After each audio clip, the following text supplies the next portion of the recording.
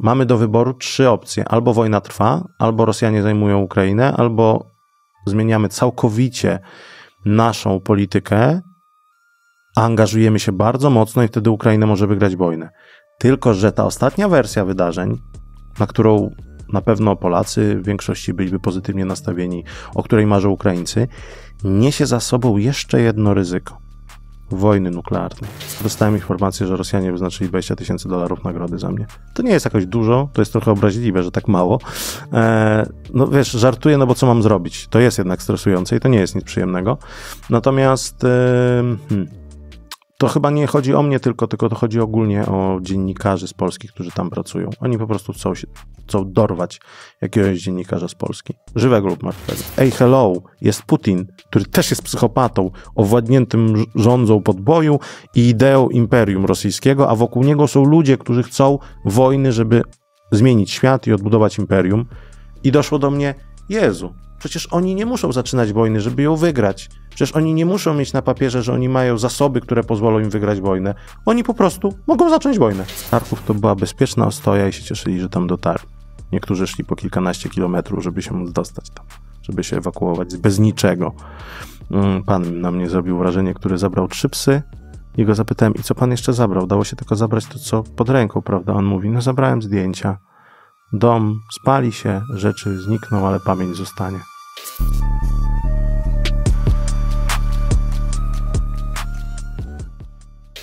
Mam dla Was nowy, fajny deal z marką Helicontex. Jeśli lubicie spędzać czas w outdoorze, spać w namiocie, zwiedzać opuszczone miejsca czy trenować na strzelnicy i denerwują Was ubrania, które nie są w stanie wytrzymać tych warunków, to marka Helicontex Wam się spodoba. Możecie kojarzyć ich spodnie UTP lub Polar Patriot, ale Helicontex ma w ofercie naprawdę dużo więcej produktów. Ich militarne korzenie widać po tym, że rzeczy są solidne i zaprojektowane tak, że będą Wam służyć przez lata. W Helikonie ubierzecie się na każdą akcję. Mają naprawdę sporo spodni, bluz, kurtek, plecaków, apteczek i przydatne akcesoria do przeróżnych aktywności na świeżym powietrzu. Trzeba się ruszać, nie siedźcie ciągle w telefonie lub przed komputerem. Poprawianie swojej kondycji może dosłownie uratować Wam życie. I samopoczucie. Jeśli jeszcze tego nie robicie, mam dla Was kod rabatowy minus 15% na zakupy na stronie www.helikon-tex.com. Link znajdziecie w opisie podcastu. Mateusz Lachowski, cześć. Cześć Przemku. Dzień mm, dobry Państwu. Myślę, że wszyscy Cię znają, więc ty, czwarty raz Cię już nie będę pytał, czym się zajmujesz. E, chciałem Cię zapytać, jak wygląda w tym momencie sytuacja u Ciebie, jeśli chodzi o rozpoznawalność. Jak wracasz do Polski, przechadzasz się gdzieś, jedziesz na jakieś eventy, jak to wygląda? To dostaję jodę w prezencie. E, wiesz co, no, mm, no i jest jakaś tam rozpoznawalność. Znaczy ona jest, ja tak nie odczułem takiej różnicy, żeby ona się pojawiła w jakimś ostatnim czasie. Ona jest w sumie gdzieś od początku tej mojej działalności na Ukrainie. Może też dlatego, że ja te pierwsze miesiące bardzo rzadko wracałem do Polski, więc jak już wróciłem na dłuższy jakby moment, to rzeczywiście trochę tej rozpoznawalności jest. Natomiast chyba warto to podkreślić, że też sytuacje, w której ktoś do ciebie podchodzi, wita się z tobą, robi sobie zdjęcie, yy, albo chce sobie zrobić zdjęcie, czego ja do dzisiaj nie rozumiem, hmm. bo mówiąc między nami, ja po prostu nie wiem, po co sobie ze mną robić zdjęcie. Ja nie zrobiłem nic, żeby robić sobie ze mną zdjęcie. Yy, to one są miłe. W sensie chcę podkreślić, że one mi sprawiają jakiś trochę, sprawiają, że ja się czuję trochę skrępowany cały czas. Natomiast chodzi o to, że nie zdarzyła mi się jeszcze sytuacja przez w ogóle w życiu, żeby ktoś do mnie podszedł i powiedział na przykład to, co w internecie często dostaję. To znaczy, nigdy nie dostałem hejtu w życiu codziennym, tak face to face. Zawsze to jest tak, nie wiem, idę do żabki i pan, o panie Mateuszu, jest pan w Polsce, kiedy pan wyjeżdża, dokąd teraz, do Izraela, do Palestyny, może gdzieś indziej, czy Ukraina cały czas, nie? Jakby to czasami jest bardzo jakby konfundujące, bo to często są takie sytuacje, kiedy się tego nie spodziewasz. Na przykład, nie wiem, idziesz gdzieś w słuchawkach, w dresie, akurat jesteś w Warszawie u siebie i, i, i nagle ktoś do ciebie gada i na przykład chce sobie wtedy z tobą zrobić zdjęcie i zdajesz sobie sprawę, że wyglądasz jak główno. no ale trudno, no. E, e, życie. Nie, nie, nie przygotowywałem się na to, żeby zrobić sobie wtedy zdjęcie. To zawsze jest tak, mam wrażenie czy gdzieś jesteś zakopanem, czy gdzieś na, na wakacjach, no, no jakby na chwilę wyjechałeś się, Akurat wstałeś tylko na sekundkę do sklepu, jeszcze tak, się nie zdążyłeś tak, tak, ogarnąć. Tak, tak, tak, tak, to tak zawsze wygląda, nie? I jeszcze idziesz w kapturze właśnie, bo już się nauczyłeś, że już lepiej, że już po prostu lepiej tak. E, no, ale to jest właśnie jakaś wtedy właśnie się taka sytuacja zdarza. Ale to są, mówię, ja się powoli do tego przyzwyczajam. Myślę, że to za jakiś czas też minie, e, bo jeśli bym zakończył to, to, to, co w tej chwili robię, to myślę, że to jakoś tam minie albo się trochę rozmyje. A chcesz zakończyć? No wiesz co, docelowo to bym na pewno chciał w pewnym momencie zrobić stop. Tak. Od bycia korespondentem? Tak, od bycia korespondentem. Kanał na pewno zostawię, bo ten kanał mi daje bardzo dużo frajdy i to też chodzi o to, że pewnie będę go trochę modyfikował Miałem taki plan już, jak ostatnio gadaliśmy, nawet gadaliśmy przecież po, że, że chciałbym w pewne inne rzeczy trochę też pójść, bo za tym tęsknię. Natomiast no, przez to, co się dzieje na Ukrainie, jak się zintensyfikowało to, co się tam wydarzyło, no to te treści na moim kanale są tylko i wyłącznie skupione na wojnie, ewentualnie od czasu do czasu wraca temat Izraela, no bo i przede wszystkim strefy gazy, no bo to albo gdzieś w rozmowie przy, przy okazji, albo w sumie za dawno nie robiłem o tym rozmowy, a trzeba by było zrobić znowu, bo, bo sytuacja wcale się nie polepszyła. Natomiast y, chciałbym wrócić do zabawy z filmem. Bardzo za tym tęsknię i myślę, że jakby się sytuacja e, w Ukrainie uspokoiła, to pierwsza rzecz, jaką bym zrobił, to bym to zrobił. Jakby się uspokoiła, ale to jeszcze no, raczej pieśń tak, dalekiej raczej przyszłości. pieśń dalekiej przyszłości, albo gdybym ja już po prostu stwierdził, że już finito, już mam dość, już za dużo stresu, zdrowia, siwych włosów i wiesz, bo to nie jest jednak, przy całej satysfakcji ta robota jest satysfakcjonująca, ale ona bardzo dużo też kosztuje. Satysfakcjonująca no jest ważna przede wszystkim. Myślę, że to jest dużo no tak. istotniejsze niż to, że jest satysfakcjonująca. Ci żołnierze, którzy tam walczą, to nie, sądzę, że powiedzą, że to jest satysfakcjonujące, ale jest ważne. No tak, dla nich tak, no ich praca to na pewno. Ja mówię, wiesz, o, o swojej, o tym, że ja tylko o tym y, mówię, czy o tym informuję i gdzieś tam do nich jeżdżę i z nimi rozmawiam. Natomiast y, no ich, ich praca, jeżeli określimy to jako pracę, to to jest zupełnie co innego. To jest Wiesz, to jest też walka o przetrwanie, takie mam poczucie, bo to już też czwarty raz rozmawiamy i przez ten cały czas ta wojna się zmienia i myślę, że znów jesteśmy na takim etapie, my jeszcze na takim etapie nie rozmawialiśmy, ten etap był dwa lata temu, gdzieś o tej porze się już nawet kończył, czy pierwsze dwa miesiące wojny, już mamy dwa, i, dwa lata i trzy miesiące, no to wtedy to była walka Ukrainy o przetrwanie. I znowu mamy walkę Ukrainy o przetrwanie. Ja mam takie poczucie. Znowu, znowu to jesteśmy w tym momencie. Znowu to wyglądasz tak źle? Wiesz co? Są tacy, i tutaj pozdrawiam Marka Budzisza, yy, którzy by powiedzieli, że to zawsze wyglądało źle. Chodzi o perspektywę. Chodzi, jeśli chodzi o perspektywę, bo ta perspektywa jest naprawdę słaba. Yy, chodzi po prostu o to, że trzeba sobie zdawać. Trzeba też czasami spojrzeć na pewne rzeczy, spróbować spojrzeć oczami Rosjan jako wroga. I ja myślę, że Rosjanie od wielu miesięcy zdają sobie sprawę z tego, że, mm, no, że oni do czegoś dążą i że to w jakiś sposób im się udaje. To znaczy, bo my cały czas patrzymy na ten konflikt z naszej perspektywy Europy Środkowej, Zachodniej, po prostu szeroko pojętego Zachodu. Nie umiemy zrozumieć do końca perspektywy Ukraińców, choć bliżej nam do ich perspektywy niż do perspektywy rosyjskiej. Rosyjska perspektywa jest dla nas czymś, czego ani nie próbujemy zrozumieć, ani nie rozumiemy, ani nie widzimy ich celów, mam wrażenie. Z jednej strony to jest dobre, no bo trudno zrozumieć napastniczy kraj, który przeprowadza agresję, ale zrozumieć czyjś punkt widzenia to nie znaczy go popierać.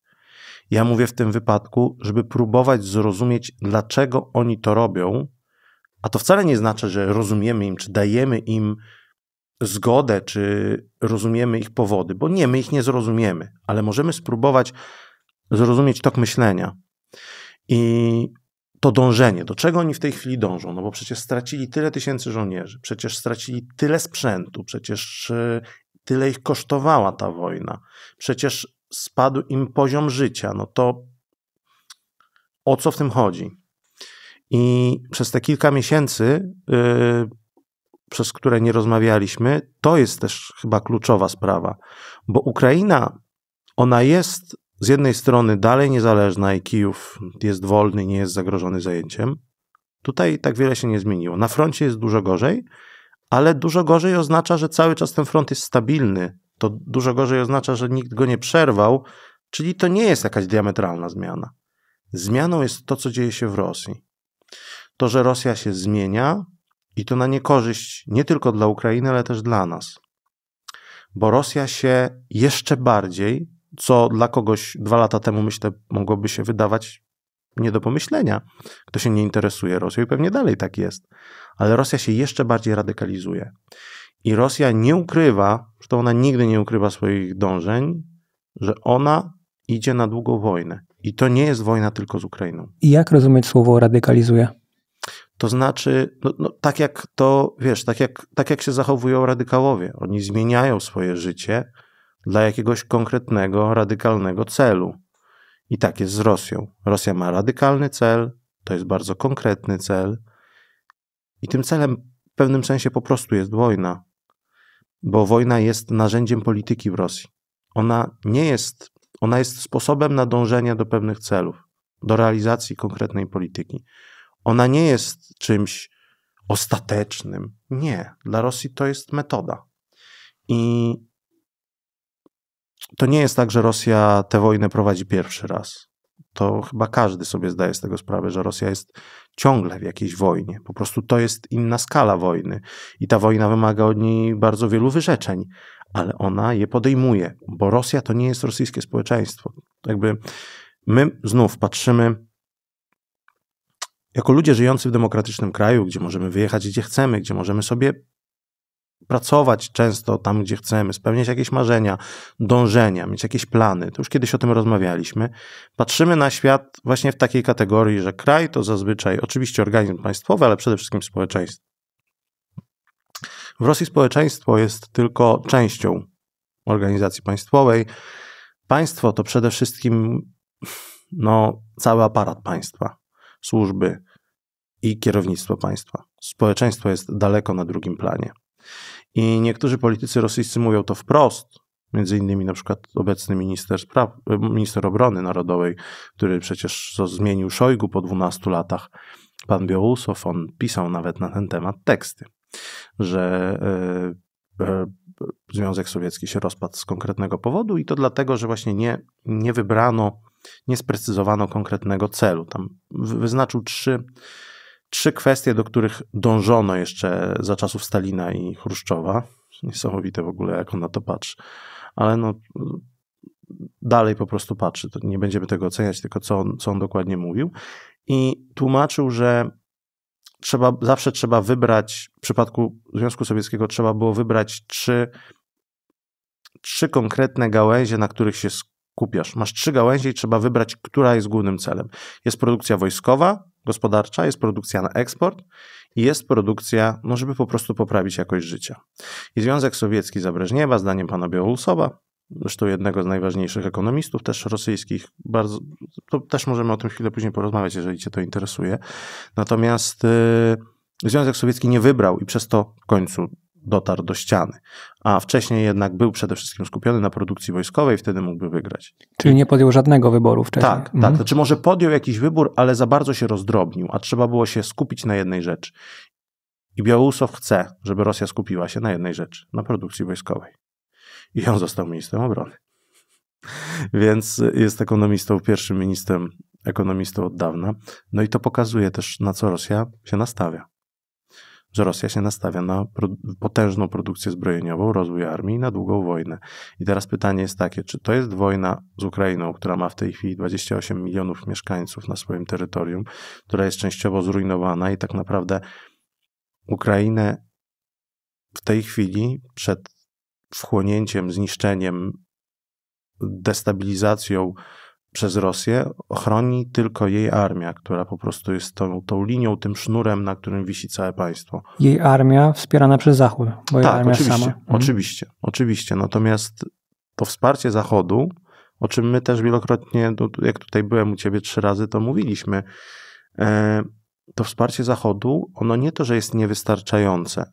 Ono, ja się zastanawiałem przed tą rozmową, bo wiedziałem, że ten temat będzie, jak opisać to wsparcie. Dużo o tym ostatnio myślę, bo dużo o tym rozmawiam i wielu kolegów, y, zawodowo kolegów y, z Polski, z którymi rozmawiam, ma takie poczucie, że to wsparcie jest takie duże i przez to Ukraina się trzyma. Jak to opisać, co ja widzę tam na miejscu, żeby ktoś zrozumiał, na czym to polega? Ukraina jest w tej chwili takim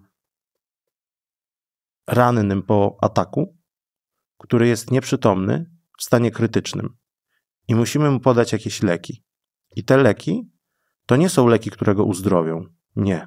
Te leki go tylko i wyłącznie podtrzymują przy życiu i mało tego. Tych le te leki w tej dawce i te konkretne leki, jakie podajemy temu rannemu, one nie tylko go nie utrzymają przy życiu dłużej, ale one sprawiają, że powoli te funkcje życiowe w nim zanikają. To znaczy, że za jakiś czas mu wysiądzie nerka, potem mu wysiądzie wątroba i jeżeli nie podamy mu niczego innego, co go poprawi jego stan, to on prędzej czy później umrze. Ale my w tej chwili podtrzymujemy go po prostu przy życiu. To jest taka resuscytacja na bieżąco. Ale na tyle jakby, tylko że kluczowe jest to, że, że czas działa tutaj na niekorzyść tego rannego. I to jest problem. Że ta pomoc jest. I oczywiście bez tej pomocy Ukraina byłaby w takiej sytuacji, jak była jeszcze dwa miesiące temu, że żołnierze, których ja znam, wyciągali z jakichś bagien, wody, jezior, stare pociski rosyjskie, które Rosjanie wycofując się w obwodzie charkowskim, uciekając, jak była ofensywa, my wtedy pierwszy raz rozmawialiśmy we wrześniu 2022 roku, mm, to oni wyciągali to, co Rosjanie gdzieś tam zostawili, gdzieś to się zawiruszyło, wyciągali z tego materiał wybuchowy, przerabiali go w prymitywnych, chałupniczych laboratoriach pochowanych gdzieś blisko frontu i z niego robili ładunki, z tego robili ładunki wybuchowe do rzucania dronów. Są nawet reportaże o tym, ja nawet sam miałem robić o tym reportaż, ale jest jeden ukraiński reportaż perfekcyjny o tym, więc stwierdziłem, że w sumie nie ma jakby po co wynajdywać proch, jak już ktoś go wynalazł, świetny zresztą mm, mogę ci dać, żebyś rzucił linku, ale on jest niestety po ukraińsku. Niemniej mm, raz, że widziałem to jakby w reportażu, ale przede wszystkim widziałem to na miejscu pod Izumiem i w wielu innych miejscach. Czyli sytuacja jest aż tak ludźmi. krytyczna? Ta sytuacja była tak krytyczna dwa miesiące temu. Teraz, odkąd znowu jest wsparcie, ta sytuacja jest dobra. Yy, chyba pierwszy raz od początku wojny wszystkie brygady ukraińskie, to jest cytat z prezydenta Zeleńskiego, mają odpowiednią ilość amunicji artyleryjskiej. Problem jest zupełnie coś innego w tej chwili, no ten bardziej skomplikowany sprzęt. Także jasne, ta pomoc jest, bez tej pomocy pacjent by umarł. Natomiast ta pomoc nie uzdrowi pacjenta. Nie wygramy tym wojny. Jeżeli nie będzie jakichś zmian strukturalnych, drastycznych zmian, jeśli chodzi o wsparcie Ukrainy ze strony partnerów z Zachodu, to Ukraina wojny nie wygra. Ciekawe, to co w takim razie będzie w przyszłości? Jeśli cały czas to wygląda w ten sposób i finalnie Ukraina najprawdopodobniej upadnie, to w sumie dziwne, że w ten sposób kontynuują wsparcie dla Ukrainy. Jeśli teoretycznie oni muszą wiedzieć, że Ukraina w końcu upadnie. Oni sobie zdają z tego sprawę. Natomiast y, oceniają to w taki sposób, że po pierwsze są doraźne problemy polityczne, które są dla nich ważniejsze. W Stanach Zjednoczonych między innymi wybory, i te wybory są głównym problemem, jeśli chodzi o sytuację na Bliskim Wschodzie i jeśli chodzi o sytuację w Ukrainie. A dodatkowo, to chyba jest kluczowe, mm, cel polityczny Stanów Zjednoczonych jest inny niż nasz cel polityczny i inny niż ukraiński cel polityczny. Podobnie cel i strategia, strategia polityczna krajów Zachodu jest inna niż nasza strategia. I to sobie musimy z tego zdawać sprawę. Po prostu każdy kraj ma inną strategię. My to od niedawna ją mamy, albo nawet nie mamy jej do końca. Mm, mam wrażenie, że nie mamy jej nawet spisanej jakoś tak. Nie mamy w Polsce takiej strategii geopolitycznej na przykład, e, która by była taka jasna, prosta, zrozumiała dla wszystkich. Ukraińcy mają? Tak, oczywiście oni w tej chwili muszą mieć, bo oni są w takiej sytuacji, że oni zostali postawieni. Tylko... Oni zostali postawieni w takiej sytuacji, że oni musieli sobie tą strategię na szybko zrobić. Ona nie jest y, podobnie jak nasza, ona jest doraźna, natomiast y, no, strategia jest prosta. Zrobić wszystko, żeby odzyskać swoje terytoria i wygrać wojnę. Ale to jest podobno oficjalna wersja. Oficjalną wersją jest to, żeby zrobić wszystko, żeby, że, żeby, że wierzą. Oficjalnym jest ten cel, bo coraz mniej ludzi wierzy w to, że uda się te terytoria odzyskać, ale dalej to dążenie, żeby odzyskać ich jak najwięcej, jest rzeczywiście y, celem. Z różnych powodów. Y, te terytoria są bardzo często te okupowane, całkowicie zniszczone, ale głównym powodem jest to, żeby mieć te terytoria jako strefę buforową przed Rosjanami. Żeby oni nie weszli na te terytoria, które są mniej zniszczone, których jeszcze nie rozwalili, nie zbombardowali, nie ostrzelali i tak dalej. No i najgorsze jest to, że się wszyscy przyzwyczajają do tego, co, więc nawet jeśli sytuacja jest krytyczna, to już dla nas, już to nie jest takie zaskakujące, tak. jak było na samym początku. Tak, bo my sobie nie zdajemy sprawy. Widzisz, bo problem z wojną na Ukrainie polega na tym, że w jakimś sposób zamiast nas zmotywować do pewnych zmian, choćby w Polsce, czy w Europie Zachodniej, ta wojna na początku to zrobiła, ale sukces Ukraińców pod Kijowem, odepchnięcie Rosjan i sprawienie, że ta wojna znów jest daleko na wschodzie, choć teraz zaczyna się powoli zbliżać, bo zajmują powoli Rosjanie terytorium i żeby Państwu uświadomić, jak to wygląda, jak dużo tego terenu zostało zmienione, e, zajęte przez Rosjan i jak się bardzo zmienił ten front, to owszem, to są małe zdobycze, natomiast Rosjanie w ciągu tego półrocza zajęli tyle, znaczy zajęli więcej niż przez całe półtorej roku ostatnie, wcześniej. Hmm. Czyli bardzo mocno się posuwają do przodu. To znaczy, to oni po prostu mało zajęli przez te półtora roku wcześniej, bo to też chodzi o to, że bardzo wyrównana była ta wojna. To było tak, że oni weszli siłą zaskoczenia, siłą przewagi lotniczej, przewagi armii rosyjskiej, też zdradą w kilku miejscach. Oni zajęli przede wszystkim część południową Ukrainy i zbliżyli się do Kijowa i część obodu charkowskiego, a Ukraińcy przytomnie się cofali i zajęli wszystkie te główne zdobycze w ciągu tych, tego pierwszego okresu dwóch miesięcy. I potem to wszystko stanęło. Mało tego, jesienią 2022 roku Ukraińcy odzyskali kawał terenu w obozie charkowskim i kawał terenu w obozie hersońskim. Potem znów to stanęło i raz na jakiś czas Rosjanie zdobywali małe miejscowości, znaczy duże miejscowości, ale mało terenu, tak jak spojrzeć na wielkość Ukrainy, tylko znów dalej. My patrzymy na front i patrzymy na Ukrainę. Ukraina jest dużym krajem. Gdyby Rosjanie tyle terenu zajęli na przykład, nie daj Bóg, w naszym kraju, no to doszliby pod Warszawę. Co w takim razie no to mówią Ukraińcy? Skoro, skoro, oni sobie zdają z tego sprawę, to nie jest tak, że morale im tam bardzo mocno spada? Mm, spadało im morale, dopóki nie dostali, zaczęli dostawać wsparcia. Natomiast teraz e, jest ono lepsze. Widzą, że jest gorzej dużo, bo zaraz jeszcze przejdziemy do tego, jak to wygląda na froncie. Natomiast yy, widzisz, taka osoba w walce, ona też nie kalkuluje tak jak my. Oni, no, ostatnio mi to powiedział mój przyjaciel, że jakbym słuchał tylko tego, co ty mówisz, tych wszystkich negatywnych rzeczy, to bym se chyba w łeb strzelił. No, wziąłbym ten karabin, zamiast strzelać do ruskich, to bym w siebie strzelił. No my musimy wierzyć, że będzie dobrze, więc, więc tworzymy swoją alternatywną historię, że dostaniemy więcej tego wsparcia, że wytrzymamy teraz to natarcie, a potem my pójdziemy na natarcie i mam wrażenie, że duża część społeczeństwa ukraińskiego dalej tym żyje. Ale jest też część, która już chciałaby negocjacji, bo widzi te flagi na cmentarzach. Tych flag są. Ja ci wyślę zdjęcia, i żeby Państwo zobaczyli. Jeden to jest cmentarz w Charkowie, drugi to jest cmentarz w Kijowie. We wszystkich dużych miastach są takie cmentarze. To są tysiące grobów.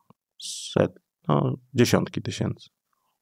Setki to nie, bo myślę, że znaczy, według statystyk, i to nie ukraińskich, tylko takich niezależnych, 40 tysięcy osób, y, które mają inwalidztwo, bez nóg, bez rąk, z amputacjami, to po stronie ukraińskiej mówię. No i trudno teraz określić, jak dużo zabitych, ale Mówi się, że 70-80 tysięcy zabitych, plus zaginieni, no i plus ciężko ranni. To razem może dawać jakieś 400 tysięcy strat zabitych, rannych, zaginionych po jak? ukraińskiej stronie. U Rosjan to będzie dużo więcej. Jak, dużo oni, więcej. jak oni sobie radzą z tymi wszystkimi rannymi? Prawdopodobnie sobie w ogóle nie radzą. Różnie. Ale... No wiesz, no to jest to, co tobie kiedyś opowiadałem, e, że, że na przykład jakby u mnie skorzystanie z pomocy w szpitalu wojskowym skończyło się półtorarocznym leczeniem e, bakterii, która mi zapewniła zapalenie nerki i różne inne kłopoty. Ale wyleczyłeś się w tak, końcu? Tak, wyleczyłem się w końcu. Cieszę tu, się. No, polska medycyna. Martwiłem się trochę. Nie, no wyleczyłem się w końcu, natomiast rzeczywiście to wymagało trochę, trochę zaangażowania i, i, i czasu, i finansów, i szukania lekarzy, i znalezienie tego, bo to też jest problem na pewno, że w takich warunkach strasznych powstają jakieś takie bakterie antybiotykooporne, i o ile jest, jak jesteś, wiesz, żyjesz w Polsce, masz y, odporność na normalnym poziomie, to jest ok, to nawet nie złapiesz tego gówna. Al, no, albo złapiesz, jak ktoś ci robi zastrzyk, bo mnie to było prawdopodobnie po prostu, no po prostu, no warunki wojenne, na tym to polega, nie? Ale pod tym względem sobie nie radzą. Natomiast rzeczywiście mają dobrą medycynę pola walki, mają dobry, no starają się wszystko adaptować do tej sytuacji. Tylko wiesz, to są rzeczy, które dla nas są znów niewyobrażalne, bo jednak narzekamy na nasz system medyczny i na wiele różnych rzeczy. No ale to dalej jest zupełnie inny system medyczny niż był w Ukrainie. To jest po prostu biedniejszy kraj, jeszcze teraz z wojną.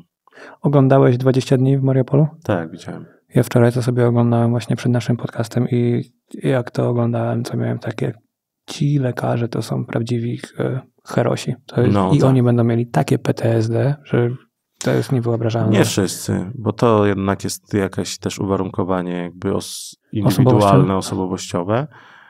Też zależy, jak sobie z tym radzą, no ale tak, część będzie miało. Tak jak żołnierzy będzie miało multum. To, to, co, ci, to co rozmawialiśmy kiedyś, nie? Że to jest... y, No i to jest też powód, dla którego ja mówię, że ten, ta przyszłość nie wygląda w jasnych barwach, bo dla Rosji koniec wojny to koniec wojny. Rosja ma problem wtedy, co zrobić z, sześciu, no, z y, armią, która ma 600 tysięcy ludzi, która już zabijała, walczyła i która jest potężną, zaprawioną w bojach armią. Nikt takiej nie ma w Europie, nikt takiej nie ma na świecie poza Ukrainą. No ale jednak Rosja ma większe po prostu możliwości. Y, Co z nią zrobić? Czy rozpuścić tych ludzi, gdzie ich wysłać? I to jest zagrożenie największe dla nas, bo zupełnie innym jest człowiek, żołnierz, który ćwiczył, był w okopach, był na poligonie, ale nigdy nikogo nie zabił, i nigdy nie ryzykował i nigdy nic do niego nie strzelało, a człowiek, który, dla którego to już jest codzienność. To jest zupełnie, to, to, tego się nie da porównać. To jest tak, jakby wziąć kierowcę, który właśnie zdał prawo jazdy i kierowcę, który od 20 lat to zawodowo robi. A ten przeskok i tak jest za mało powiedziany, bo po prostu tego się nie da wyobrazić. Ten, ten zalew adrenaliny, hormonów, kortyzolu, tego wszystkiego, ja to próbowałem chemicznie zrozumieć też, co się ze mną dzieje, jak się włącza ta adrenalina. No to czytałem dużo na ten temat, ale to, to uczucie jest bardzo trudne do opisania. Ja widziałem nagranie, jak ostatnio rozmawiałeś z Igorem Janką, Jankę Mhm. i siedzisz przy oknie i nagle był wybuch i cię tak, tak, od wzdrygnęło. razu, nie? no. To jest po prostu taki z... y, Tak, ja to już mam, ja to zauważyłem, nie? Że jedziesz samochodem, łup, bo tylko... I właśnie, i to też jest ciekawe, bo widzisz, bo siedziałem z Igorem, siedziałem w fotelu, niby w Charkowie ostrzeliwanym, ale jednak ja się czuję tam bezpiecznie. A jest coś innego, jak już masz w głowie, ok, to jest ten tryb, nie? Jesteś taki cały czas. Nie, że od razu podskakujesz i ten, tylko jesteś taki już. Jesteś taki, mm, nie wiem jak to powiedzieć, no po prostu taki gotowy w pewien sposób, nie? I po prostu obserwujesz jakiekolwiek, jakikolwiek szum, że coś leci, w- wywołuje u ciebie jakąś reakcję. Mi się zdarzało ileś razy w życiu gdzieś tam być u nich, to z żołnierzami. I po prostu wiesz, no coś leci, my się rzucamy na ziemię momentalnie, bo po prostu czasami to ignorujesz, bo czujesz, że to jest daleko, ale są takie miejsca, gdzie jesteś na tyle blisko, że po prostu to jest, y, to jest zdrowy odruch i tak trzeba robić. Mm, No i to wtedy to jest właśnie ta różnica, nie? To jest ta różnica tego. Jeżeli ci ludzie to cały czas mają i umie, jakby. Zmierzam do tego po prostu, że Rosjanie koniec wojny będą mieli z armią, która ma kilkaset tysięcy żołnierzy, którzy to umieją, wiedzą jak i wiedzą jak zabijać. Przerażające, bo to często mordercy wielokrotni, natomiast niestety skuteczną armię. Co z, Będzie- co z nią zrobią? O to jest pytanie.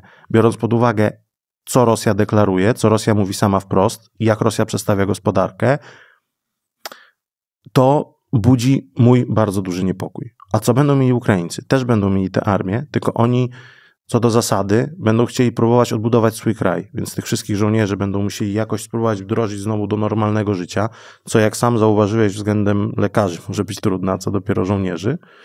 A do tego będą mieli zrujnowaną gospodarkę. Czy ta gospodarka jest teraz w najgorszym stanie, no ale część zrujnowanej infrastruktury, potężny problem demograficzny, bo w Ukrainie jest teraz około 28 milionów ludzi. To jest, wiesz, taki spadek, że przed wojną było około 40. 12 milionów osób. Tak. Przede wszystkim chodzi o to, o, o tych ludzi, którzy są na terytoriach okupowanych. To się mówi o kilku milionach nawet. I tych, którzy uciekli na terytorium Rosji, bo też uciekli niektórzy albo z terytoriów okupowanych, ale też tych, którzy uciekli właśnie do innych krajów. No plus jeszcze straty dochodzą do tego. Tak to się rozkłada. Natomiast to jest bardzo ciekawe, bo najbardziej jakby taki rzucający się w oczy jest dla mnie ta statystyka, jak się spojrzy na to, ile mieszkańców miała Ukraina, kiedy powstawała w 1991 roku, bo to było grubo ponad 50 milionów. Więc w ciągu tych 30 lat mamy spadek o ponad 20 milionów. Grubo Prawie ponad połowę. 20 milionów. Tak, Grubo. grubo. Grubo. Dlaczego szukałeś informacji na temat tego, co się z tobą dzieje? Jakby to, to, miałeś jakieś problemy albo zastanawiało cię to po prostu? Mówię o, o, Zastanawiało mnie to, bo to jest jednak, a czy wiesz co, jak się, jeżeli wyjeżdżasz gdzieś, mając 30 lat i nie masz siwych włosów i nagle masz siwe włosy i to zaczynasz tak, zastanawiać. To się zastanawiasz, co się z tobą dzieje, nie? Bo minęło dwa lata, dwa lata i trzy miesiące. Ale jednocześnie sam wspominasz o tym, że masz wrażenie, że psychicznie stoisz bardzo dobrze i że ciebie to aż tak bardzo nie dotyka. Teraz na pewno lepiej niż na początku. Tak. Eee, no tak.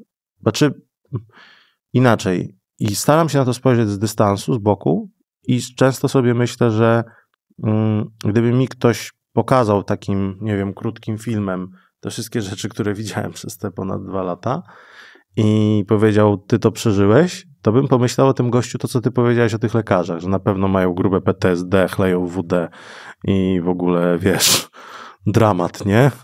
Ręce im się trzęsą i, i nie mogą funkcjonować. E, I w tej perspektywie to myślę, że sobie świetnie z tym radzę. Jakby, jak głupio by to nie zabrzmiało, takie mówienie o sobie.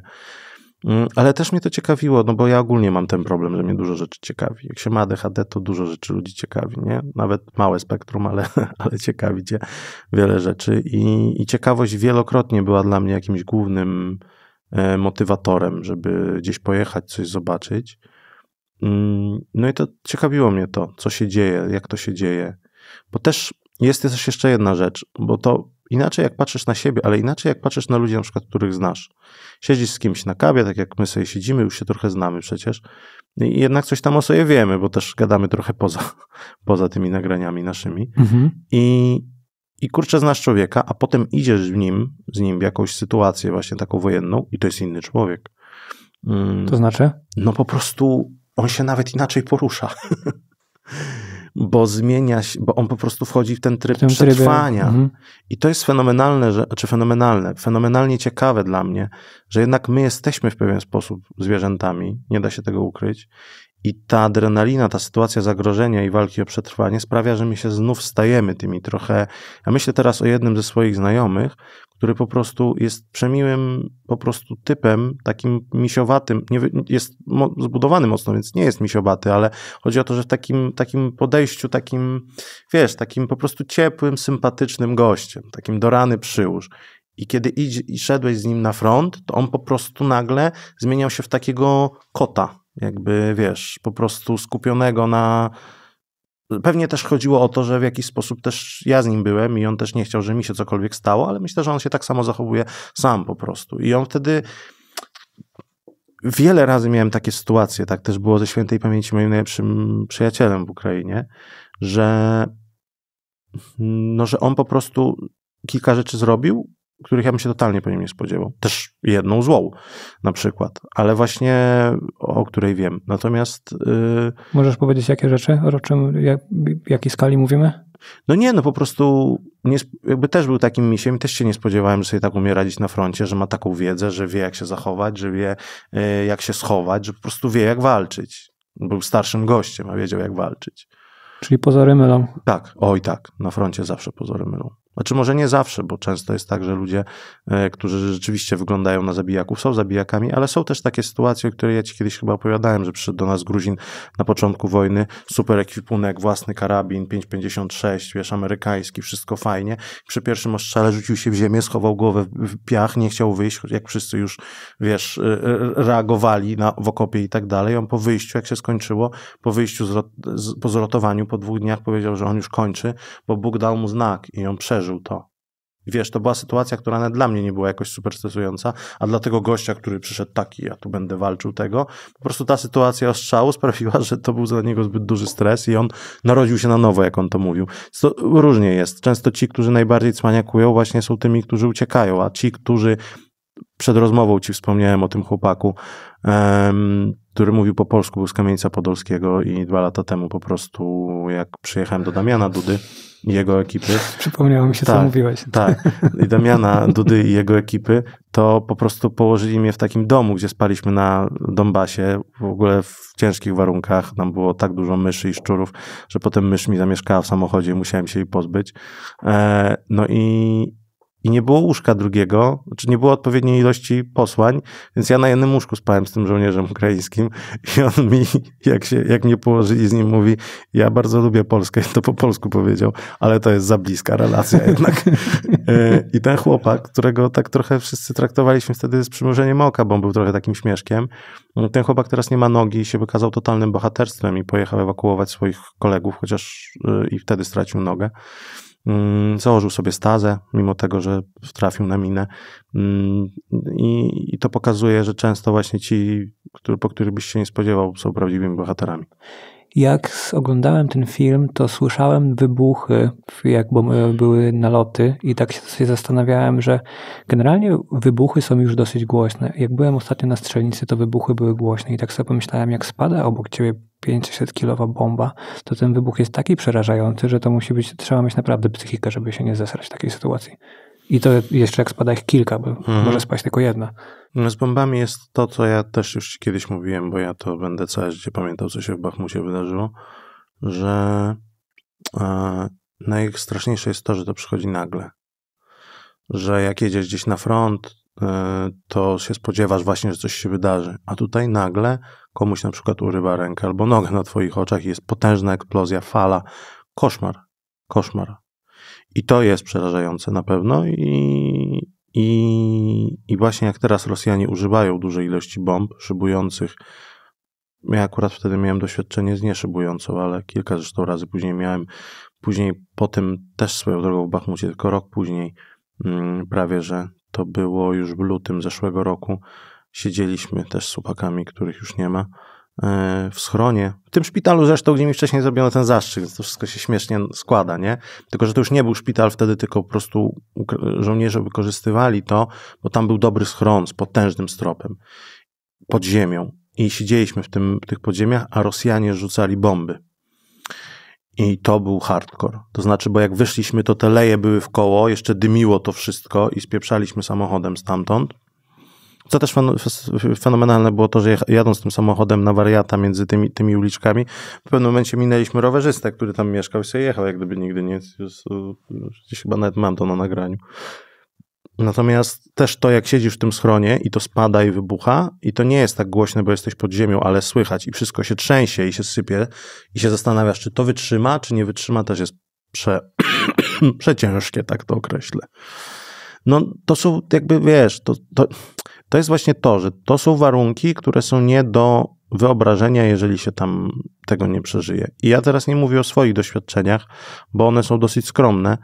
Jakieś są, rzeczywiście, ale no są skromne w porównaniu z tym, czego codziennie doświadczają żołnierze na froncie. Nie miałeś w takim razie jakichś takich momentów, gdzie myślałeś sobie, dobra, może już wystarczy? Tak, miałem wielokrotnie. I miałem też takie, że nie spałem potem na przykład noc jedną albo kilka nocy, bo jednak nie mogłem. Byłeś cały czas w tym napięciu? Tak. Tak. Wydawało mi się, że jest ok, ale budziłem się po chwili i ten. To jest hardcore. O co chodzi z tymi bombami szybującymi? Bo słyszałem o tym, że są jakieś nowe bomby, które są szybujące tak. i podobno jest bardzo ciężko je zestrzelić.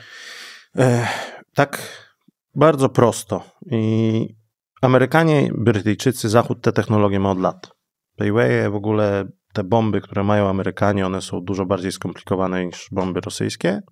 I na przykład, czy pokrótce technologia jest taka, że przylatuje ci samolot, tu masz, mamy, tu mamy front, ten, ten, ten, ta szklanka to front, yy, tak, linia, tu mhm. są jakieś pozycje, a tu jest samolot. Samolot przylatuje, staje sobie tu, czyli do frontu jest kawał drogi jeszcze i zamiast polecieć tu i musieć zrzucić bombę blisko, żeby ona doleciała, mhm. E, nie nad samym może celem czasami, ale, ale blisko, tak żeby często jest naprowadzała na, na GPS, czasami jest po prostu prosta, spada taką, to samolot podlatuje tu, czyli jest na przykład 30 km od frontu.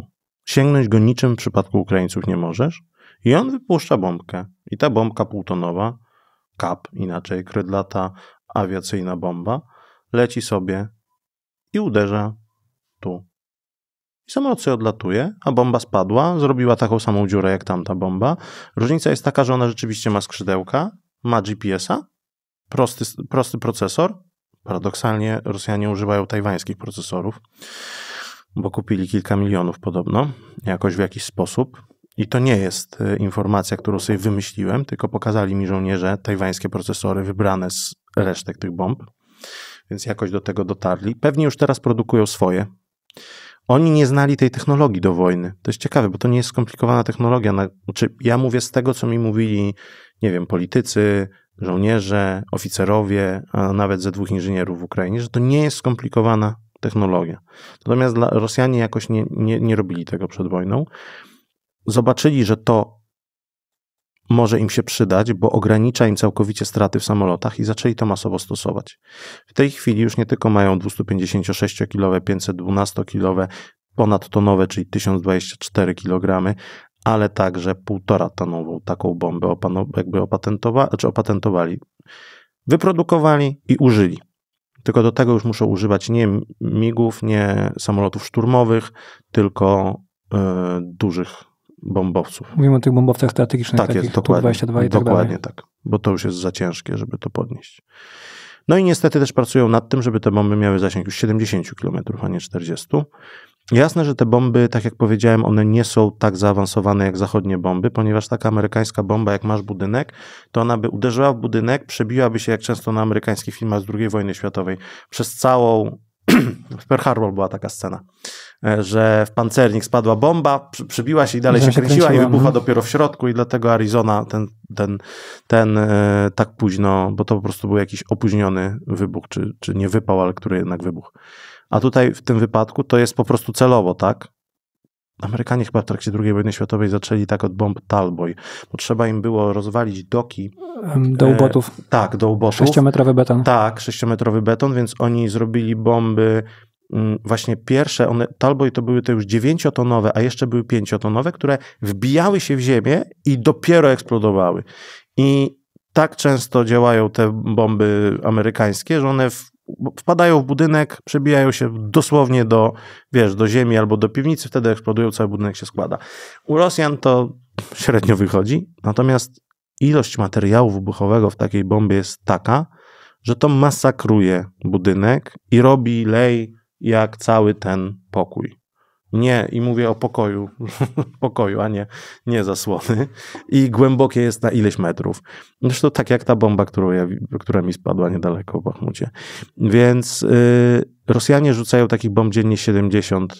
Zdarzało się, że 100 na froncie. Dziennie. No to wiesz, jakie to robi spustoszenie. To jest tak, że jak taka bomba spadnie 20-30 metrów od miejsca, gdzie są żołnierze, to kapiec, jak to mówią Rosjanie, e, Ukraińcy.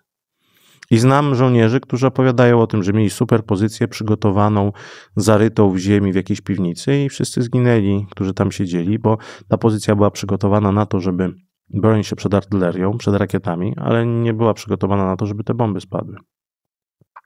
I to, zmieni, to jest rzecz, bo to też sobie musimy powiedzieć, że jak się gada z ukraińskimi żołnierzami, to oni mówią, że były dwie rewolucje w tej wojnie.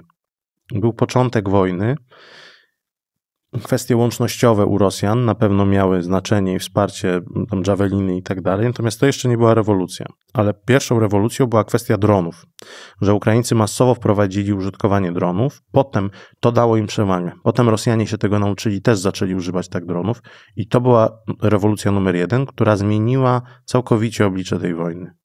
Była jeszcze taka jedna pomniejsza w maju, w czerwcu i w lecie 2022 e, roku Hajmarsy dotarły na front i pozwoliły pierwszy raz Ukraińcom razić daleko zaplecze rosyjskie i Ukraińcy wtedy zmielili ponad połowę składów z amunicją i z paliwem rosyjskich, bo Rosjanie nie byli na to przygotowani. Musieli zacząć przenosić te składy dalej niż 70 km, a wcześniej były na przykład 30-40 km od frontu i to zmieniło ale to na chwilę zmieniło oblicze wojny.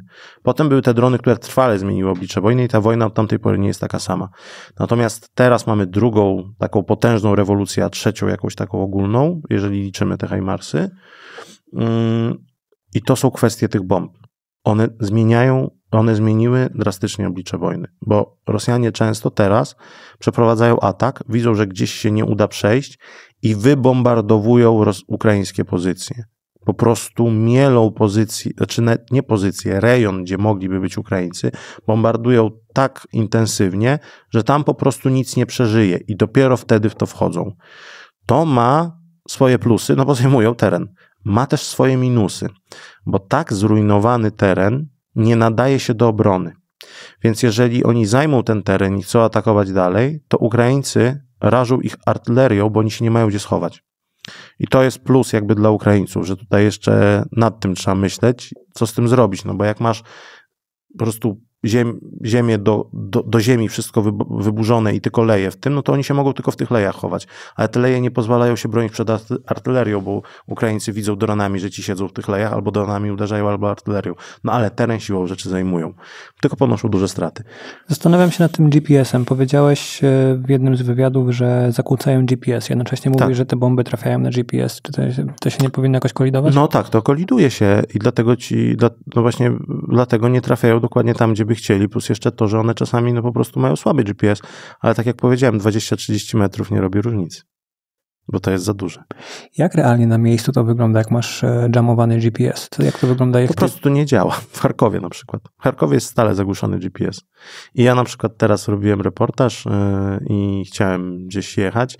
No już się przyzwyczaiłem, do, już trochę Charków znam, więc jeżdżę na pamięć. GPS ci po prostu nie pokazuje, gdzie jesteś. Pokazuje, że jesteś w innym miejscu. Ja ci, gdzieś robiłem screenie, to ci mogę pokazać. Po prostu jesteś w centrum miasta, a pokazuje ci, że jesteś poza miastem. I już. I to działa na Google Maps, na Waze, na wszystko. Nie ma, nie ma mm, po prostu mm, aplikacji, która by tego nie omijała. Ukraińcy to robią od maja 2022 roku w Charkowie. Odkąd Rosjanie intensywnie ostrzeliwują miasto, czy na początku nie umieli, a potem chyba dostali, to jakoś nauczyli się to robić i, i ja to pamiętam od maja 2022 roku, bo to wtedy się pierwszy raz pojawiło i to było zaskakujące. W Charkowie to czasami, jak nie ma alarmu, to to nie działa, a jak jest alarm, to to działa. Teraz działa stale, bo w Charkowie są 16 godzinne alarmy. Więc nawet jak nie ma alarmu, to zdając sobie sprawę z tego, Ukraińcy zdają sobie sprawę z tego, że Rosjanie Często tam jest tak, że tak jak tutaj, co widziałeś, jak gadałem z Igorem, najpierw wybuch, potem dopiero alarm. Bo niestety oni nie nadążają, za blisko jest Charków i granicy. No to dlatego cały czas ten GPS jest zagłuszony. No i to na pewno utrudnia poruszanie się po mieście. Nie działają tylko mapy, czy jakieś inne aplikacje też mają w podstawie swojej GPS i jakby się GPS, to one przestają działać? E, wydaje mi się, że inne aplikacje też i tam ogólnie jest, niektóre aplikacje Możesz mają problem. Możesz to postawić gdziekolwiek, Dobra. mi to rybka. Tam ogólnie mają aplikacje problem z działaniem, mam takie poczucie, niektóre ale przede wszystkim GPS. Przede wszystkim rzeczy, które wiesz, mają pokazywać Twoją lokalizację. Mm, czemu mówisz, że Charków jest nie do zdobycia według Ciebie? Bo rozumiem, że teraz Rosjanie się poruszają w stronę Charkowa. Ponieważ Charków jest za dużym miastem, a Rosjanie nie mają odpowiedniej ilości żołnierzy, żeby to zrobić. Czyli jednocześnie mówisz, że Ukraina się totalnie wykrwawia, jednocześnie nie mogą zająć jednego dużego tak. miasta. Więc... Nie, nie są, nie są w stanie zająć dużego miasta, nie, nie zajęli od wojny takiego miasta. Od początku wojny nigdy nie zajęli takiego miasta i mam wątpliwości, czy mogliby to zrobić, bo popatrz. To, to bo teraz to, to mi się trochę koliduje z tym, o czym wcześniej tak. rozmawialiśmy, bo wcześniej rozmawialiśmy i myślałem sobie, że ok, jeśli Ukraina przestanie mieć wsparcie, no to Rosjanie po prostu zmiażdżą. Tak, bo w pewnym momencie po prostu, bo gdyby Ukraina przestała mieć wsparcie, to wtedy zajmą. Tylko my mówimy o tym, co się dzieje teraz. Na mhm. razie Ukraińcy mają wsparcie i na etapie, kiedy Ukraina dalej ma 600-800 tysięcy żołnierzy na froncie, całość, to Charków jest nie do zdobycia. Dlaczego? Bo Rosjanie też mają jakieś 600-800 tysięcy żołnierzy na froncie. I teraz wyobraź sobie, że oni teraz Charków atakują 50 tysiącami ludzi, co wcale nie jest mało, to jest dużo, bo to są dobrze wyszkoleni ludzie i to też o tym za chwilę, ale Charków ma, do wojny miał półtora miliona mieszkańców, jest potężny jeśli chodzi o powierzchnię, w tej chwili jest tam 800 do 900 tysięcy ludzi żeby ci dać historycznie przykład. W trakcie II wojny światowej, jak Hitler chciał zająć Charków, musiał skoncentrować 450 tysięcy ludzi. Charków był wtedy dwa razy mniejszy niż teraz. Żeby zająć Kijów, który miał wtedy milion mieszkańców, czyli był dalej mniejszy od Charkowa teraz. Hitler musiał zatrzymać natarcie na Moskwę, ściągnąć odpowiednią ilość oddziałów Armii Środek do Armii Południe, zgromadzić ponad pół miliona żołnierzy i przeprowadzić operację oskrzydlającą, żeby to wielkie miasto otoczyć i otoczone zająć. Zająć tak wielkie miasto nie jest prosto. I jednocześnie zajęcie takiego miasta pewnie będzie świadczyło o tym, że będzie totalnie zrujnowane. Całkowicie. I do tego zmierzają w tej chwili Rosjanie. Oni zdając sobie sprawę z tego, że Charkowa nie są w stanie zająć w natarciu lądowym, bo nie mają takiej ilości żołnierzy najzwyczajniej w świecie, sprzętu, zaplecza, musieliby je właśnie otoczyć. Próbują je otoczyć, będą je próbowali najprawdopodobniej otoczyć, ale przede wszystkim ta ofensywa teraz jest po to, żeby zbliżyć się do Charkowa na tyle, żeby z Lipców e, ostrzeliwywać Charków, już nie z rakiet, z bomb, od czasu do czasu, tylko walić do Charkowa z artylerii i miasto doprowadzić do takiej sytuacji, że wyjedzie kilkaset tysięcy mieszkańców. Na początku wojny było poniżej pół miliona, niektórzy mówią, że 300 tysięcy, trudno mi to zweryfikować, ale było dużo mniej ludzi niż teraz. Jak były te stałe ostrzały właśnie z artylerii, te pierwsze dni wojny, no a Charków jest drugim co do wielkości i najważniejszym przemysłowym miastem w ogóle w Ukrainie, więc takie równanie miasta, ostrzeliwanie miasta i atakowanie w ten sposób doprowadzi do tego, że po prostu Ukraina nie będzie miała z niego pożytku. Nie? To, to jest wojna na wyniszczenie gospodarcza też. E, Rosja na to jest nastawiona, że widzi, że na froncie nie jest w stanie wygrać, w sposób miażdżący, to po prostu będzie osłabiała, osłabiała, osłabiała Ukrainę, osłabiała, aż ją po prostu wykrwawi. To jest cel. Cześć, słucha nas wielu interesujących ludzi takich jak ty. Jeżeli przeszło ci przez myśl, że fajnie byłoby zainteresować ich Twoją usługą lub produktem, powinniśmy porozmawiać. Co istotne, reklamujemy tylko sprawdzone firmy i porządne produkty. Jeżeli jesteś rzetelną marką, napisz na partner i zastanówmy się wspólnie nad partnerstwem. Nasz adres e-mail znajdziesz też w opisie tego odcinka. Dobra, wracamy do rozmowy. Jak w tym momencie podchodzisz do weryfikowania informacji? Mówisz, że nie jesteś w stanie tego zweryfikować, ile tam rzeczywiście było osób. I to jest w, takich, e, w takim środowisku, jakie tam jest, bardzo ciężko dostać jakąś tak. informację, która jest rzeczywiście prawdziwa, nawet dla ciebie. No tak, no i właśnie dlatego w takich rzeczach statystycznych ja podaję zawsze to, co słyszę i mówię, że to jest trudne do zweryfikowania i podane przez władze oficjalne, wiesz, władze miejskie. Ale trzeba pamiętać, że no to są władze miejskie. No nie będę, niestety nie jestem w stanie zrobić spisu powszechnego w Charkowie w tej chwili, więc mogę Państwu tylko powiedzieć tyle, co słyszę, tyle, co też szacują na przykład, no, jak mówię o 800-900 tysiącach, to to nie jest jedno źródło. To są władze miejskie, to są zwykli ludzie, którzy o tym mówią, ile gdzieś tam w ich, e, mm, w ich dzielnicy na przykład, czy w ich bloku mieszka ludzi. Czyli rzeczywiście gdzieś ta liczba, że dwie trzecie jest, powiedzmy, zostało, gdzieś jedna trzecia albo ponad jedna trzecia wyjechały, wyjechało, albo więcej wyjechało, ale przybyło trochę ludzi, bo uciekinierzy przybywają z miasteczek i wsi pod Charkowem, to razem rzeczywiście e, i też w ogóle bardzo dużo takich właśnie uciekinierów z wielu miejsc w obozie charkowskim przybyło w trakcie wojny do Charkowa, to rzeczywiście daje gdzieś tę te, liczbę osób w Charkowie, która jest w tej chwili. Mm, no i też y, ja dużo czytam, nie? Mm, gdzieś też zachodnich źródeł, a media zachodnie często bardziej szczegółowo wchodzą w te tematy, czy jakiś The Economist, czy jakiś Wall Street Journal, czy jakiś New York Times i, i rzeczywiście podają jakieś liczby i jakieś dane, na których się opierają. No to jakby nie, nie biorę sobie, wiesz, po prostu z jednej gazety tych liczb i o proszę, to na pewno liczba objawiona, no po prostu Boziu widzę w tym, ten, w, tej, w tym tęczy, czy na ścianie po prostu. Tym tęczu. Czy tam tęczu, a ten, czy buzie widzę. E, ale po prostu tylko wiesz, no jedna, druga, trzecia, dość wiarygodne wyliczenia. Razem to się pokrywa z tym, co widzę w tym Charkowie, co mówią zwykli ludzie, jakich pytam. No dobra, no to uśrednione, gdzieś tyle.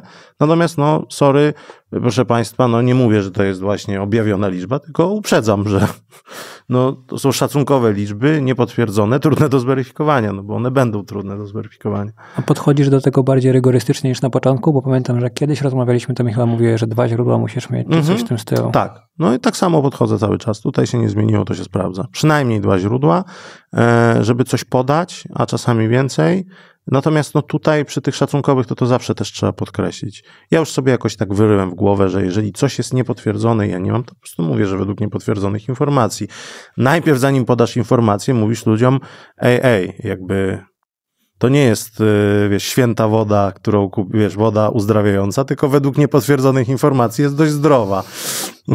jest dobrze zmineralizowana, nie? Pytam, bo ostatnio miałem rozmowę z bardzo ciekawym gościem, nie będę mówił którym, i on mi hmm. poza podcastem właśnie powiedział taką super insiderską informację, taką naprawdę mocną. Hmm. Ja byłem taki zdziwiony, czy nikt wcześniej, nigdy, nigdy, nigdzie tego nie słyszałem. On powiedział, bo w mediach nie można w ogóle było o tym mówić. Ja mówię, kurde, taka insiderska informacja, super. No i później pytam kolejnego gościa o to i kolejnego gościa i ci goście mówią, no fajnie, fajnie, pewnie dlatego nie chciał tego powiedzieć podczas podcastu, bo to jest właśnie niesprawdzone, no i takie teorie można wysnuwać, ale jak to potwierdzi, że jest mhm. dużo takich teorii na temat wojny, na temat tego, co Rosja robi albo co Ukraina robi i można zbudować z tego jakieś teorie, ale tak, trzeba, mieć dowody ale na trzeba mieć dowody na to. Mhm. I pewne rzeczy potwierdzają się dopiero z czasem. Jest kilka takich rzeczy, nie? Natomiast... E oczywiście gdzieś w pewnym momencie na przykład dość ciekawą informacją, która gdzieś tam obiegła jakoś media, ale też, też ludzi zajmujących się tym było to, że na przykład e, Janukowycz był na terytorium Ukrainy na początku wojny, co pokazuje jaki plan miała Rosja. Ale w momencie, kiedy on był, to nikt o tym nie mówił, nie wiedział. Hmm, oczywiście są też, wiesz, my musimy sobie zdawać sprawę z tego, bo znów gdzieś przyjdziemy w ten temat, który ja często poruszam, że nasi rządzący zazwyczaj wiedzą więcej niż my. I to nie dlatego, że oni mają inne. Um, to nie jest dlatego, że inne możliwości pojmowania i warunki intelektualne mają nasi politycy, bo jak już kiedyś o tym rozmawialiśmy, zwykle jest odwrotnie, że to raczej jakby, nie wiem, nasi widzowie mają większe możliwości, bo są młodsi na przykład. Natomiast chodzi o to, że e, dobrzy, dobrzy politycy wiedzą, że mają narzędzia, których nie ma nikt inny, to znaczy raporty swoich służb specjalnych, i wywiad daje raporty na biurko e, najważniejszych polityków w tym kraju i oni po prostu dostają tam informacje, które zdobywają ludzie naprawdę inteligentni też przynajmniej z tego co wiem, a to też niewiele wiem, co też pokazuje, że to dobrze działające e, organizacje. E, tam po prostu pracują profesjonaliści, którzy dostarczają odpowiednie jakby informacje. Takie, które właśnie są dość dobrze zweryfikowane. No ale to są, wiesz, to wykracza poza możliwości zwykłego człowieka, żeby takie informacje zdobyć zazwyczaj. Plus y, to jest tak, że przynajmniej z tego też co wiem, to też często jest współpraca różnych jakby różnych ludzi, różnych y, organizacji. Mamy też sojuszników, którzy nam udostępniają informacje, więc tutaj politycy mają nad nami przewagę. Wiele rzeczy wiedzą, których my nie wiemy. Kiedyś też to opowiadałem, nie? Że, że mój przyjaciel emerytowany już Mm, człowiek, który mnie bardzo, bardzo wiele nauczył, jeśli chodzi o takie właśnie zachowanie w trakcie, w trakcie tej wojny. Pozdrawiam cię, majorze, po raz kolejny. Mm, już taki doświadczony gość, nie? Bo na emeryturze od 15 lat i po prostu my się przyjaźniliśmy, tam rodzinne znajomości. Mhm. Ale no, jeśli chodzi o takie zachowanie w wielu miejscach, to no, wiedza jest potężna jego i on dalej wie pewne rzeczy, bo gdzieś utrzymuje kontakty. Oczywiście nie dzieli się ze mną zbyt chętnie tymi, tymi informacjami, albo w ogóle się nie dzieli. Natomiast no, widać, że, że to u nas działa dobrze, sądząc po tym. I, I na przykład wiedza o tym, co dzieje się w Ukrainie, jest dość duża. Myślisz, że to podpalenie, które było ostatnio w Warszawie, to jest jakiś e, sabotaż ze strony Rosji? Nie mam, nie mam zielonego pojęcia, bo nie mam żadnych źródeł. Intuicyjnie mógłbym powiedzieć, że wszystkie rzeczy, które ostatnio się wydarzyły, mogą być powiązane z Rosją. To się wiąże z tym, że Rosja wzmożyła teraz działania hybrydowe na terenie Europy Środkowej i Polski i przede wszystkim, że wybory europejskie powodują, że będzie dużo takich sytuacji. Ja miałem chyba z miesiąc wcześniej jeszcze, półtora miesiąca temu rozmowę z Agą Legucką, pozdrawiam serdecznie, czy z panią profesor Agnieszką Legucką z Polskiego Instytutu Spraw Międzynarodowych. E, pozdrawiam cię, Agnieszko, e, która mi powiedziała po prostu wprost, że musimy zrobić rozmowę na mój kanał przed wyborami, bo i to trochę wcześniej, bo, na, bo Rosjanie wzmożą bardzo działania. I to widać już, że, że będą to robić. I to się potwierdziło.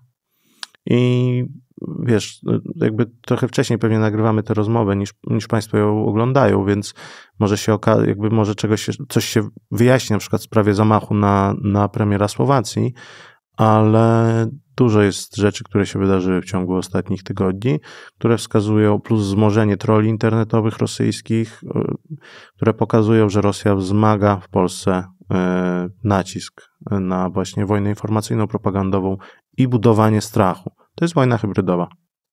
No i tym bardziej, że wszystkie media w Europie, może nie wiem czy wszystkie media w Europie, ale dużo widziałem nagłówków o tym, że Rosja będzie próbowała jakieś różnego rodzaju sabotaży tak, bo to Europie. są wybory europejskie i to jest dla nich ważniejsze niż nasze wybory samorządowe, a już jak były wybory parlamentarne i samorządowe, to robili takie rzeczy. Więc e, przy wyborach europejskich na pewno to jest dla nich ważne. Czy ty wiesz, e, albo masz jakieś informacje odnośnie tego, kto jest odpowiedzialny za ten atak w Moskwie? W Moskwie?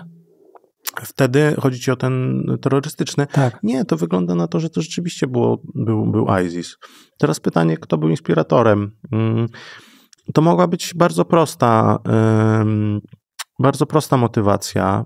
E, ISIS, e, przynajmniej ta część właśnie Azji, z Azji Środkowej, e, bo to jest ta, mówimy o tej części, mm, bo ta organizacja też ma swoje jakby odłamy, tak bym to określił.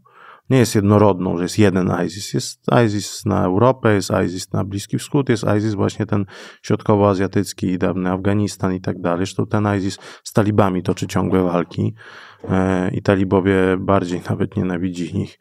E, podobno, e, takie mam jakby informacje od osób, które tam były, mm, właśnie tych ludzi z ISIS niż e, nawet, e, nie wiem, Europejczyków na przykład, czy, czy nie wiem, armii amerykańskiej, ale to temat na dłuższą też rozmowę i myślę, że nie ze mną, bo, bo nie jestem ekspertem od tego.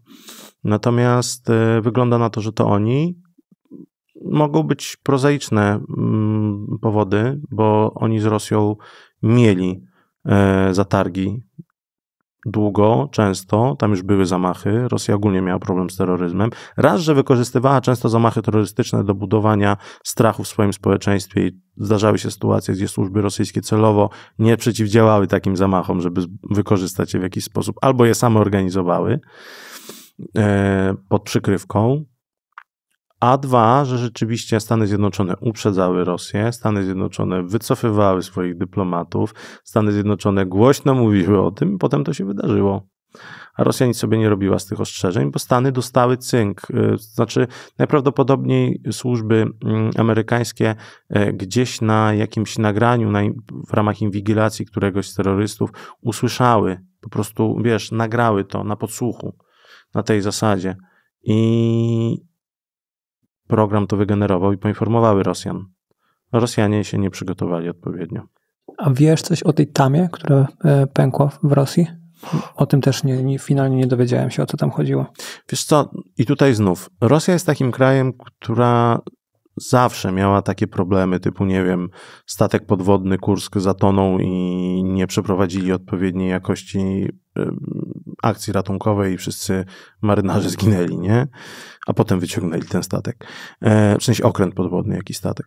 E, natomiast e, to taki przykład, gdzie były wielkie pożary, gdzie były wielkie powodzie, to wynika z ogólnego problemu z korupcją w Rosji, z problemu zapóźnień cywilizacyjnych. Zawsze w takich krajach, popatrz, jak popatrzymy na historię, to 100 lat temu więcej było wielkich pożarów, wielkich powodzi, wielkich epidemii i tak dalej. Po prostu poszliśmy do przodu i sobie z tym radzimy. Ponieważ Rosja jest w wielu aspektach zapóźniona, zwłaszcza jeśli chodzi o Azję i części we wschodniej Europie, to takie rzeczy się zdarzają. Natomiast trzeba zwrócić uwagę na to, no, że prowadząc wojnę z Ukrainą, gdzie Ukraina siłą rzeczy ma dobrze zorganizowane służby i siły specjalne, które działają na terytorium Rosji, przenikają do Rosji, które ostrzeliwują cały czas rafinerie rosyjskie, zakłady zbrojeniowe, e, infrastrukturę właśnie militarną, mm, lotniska, no to mając taką wojnę napastniczą Rosjanie, którą Rosjanie zaczęli, no to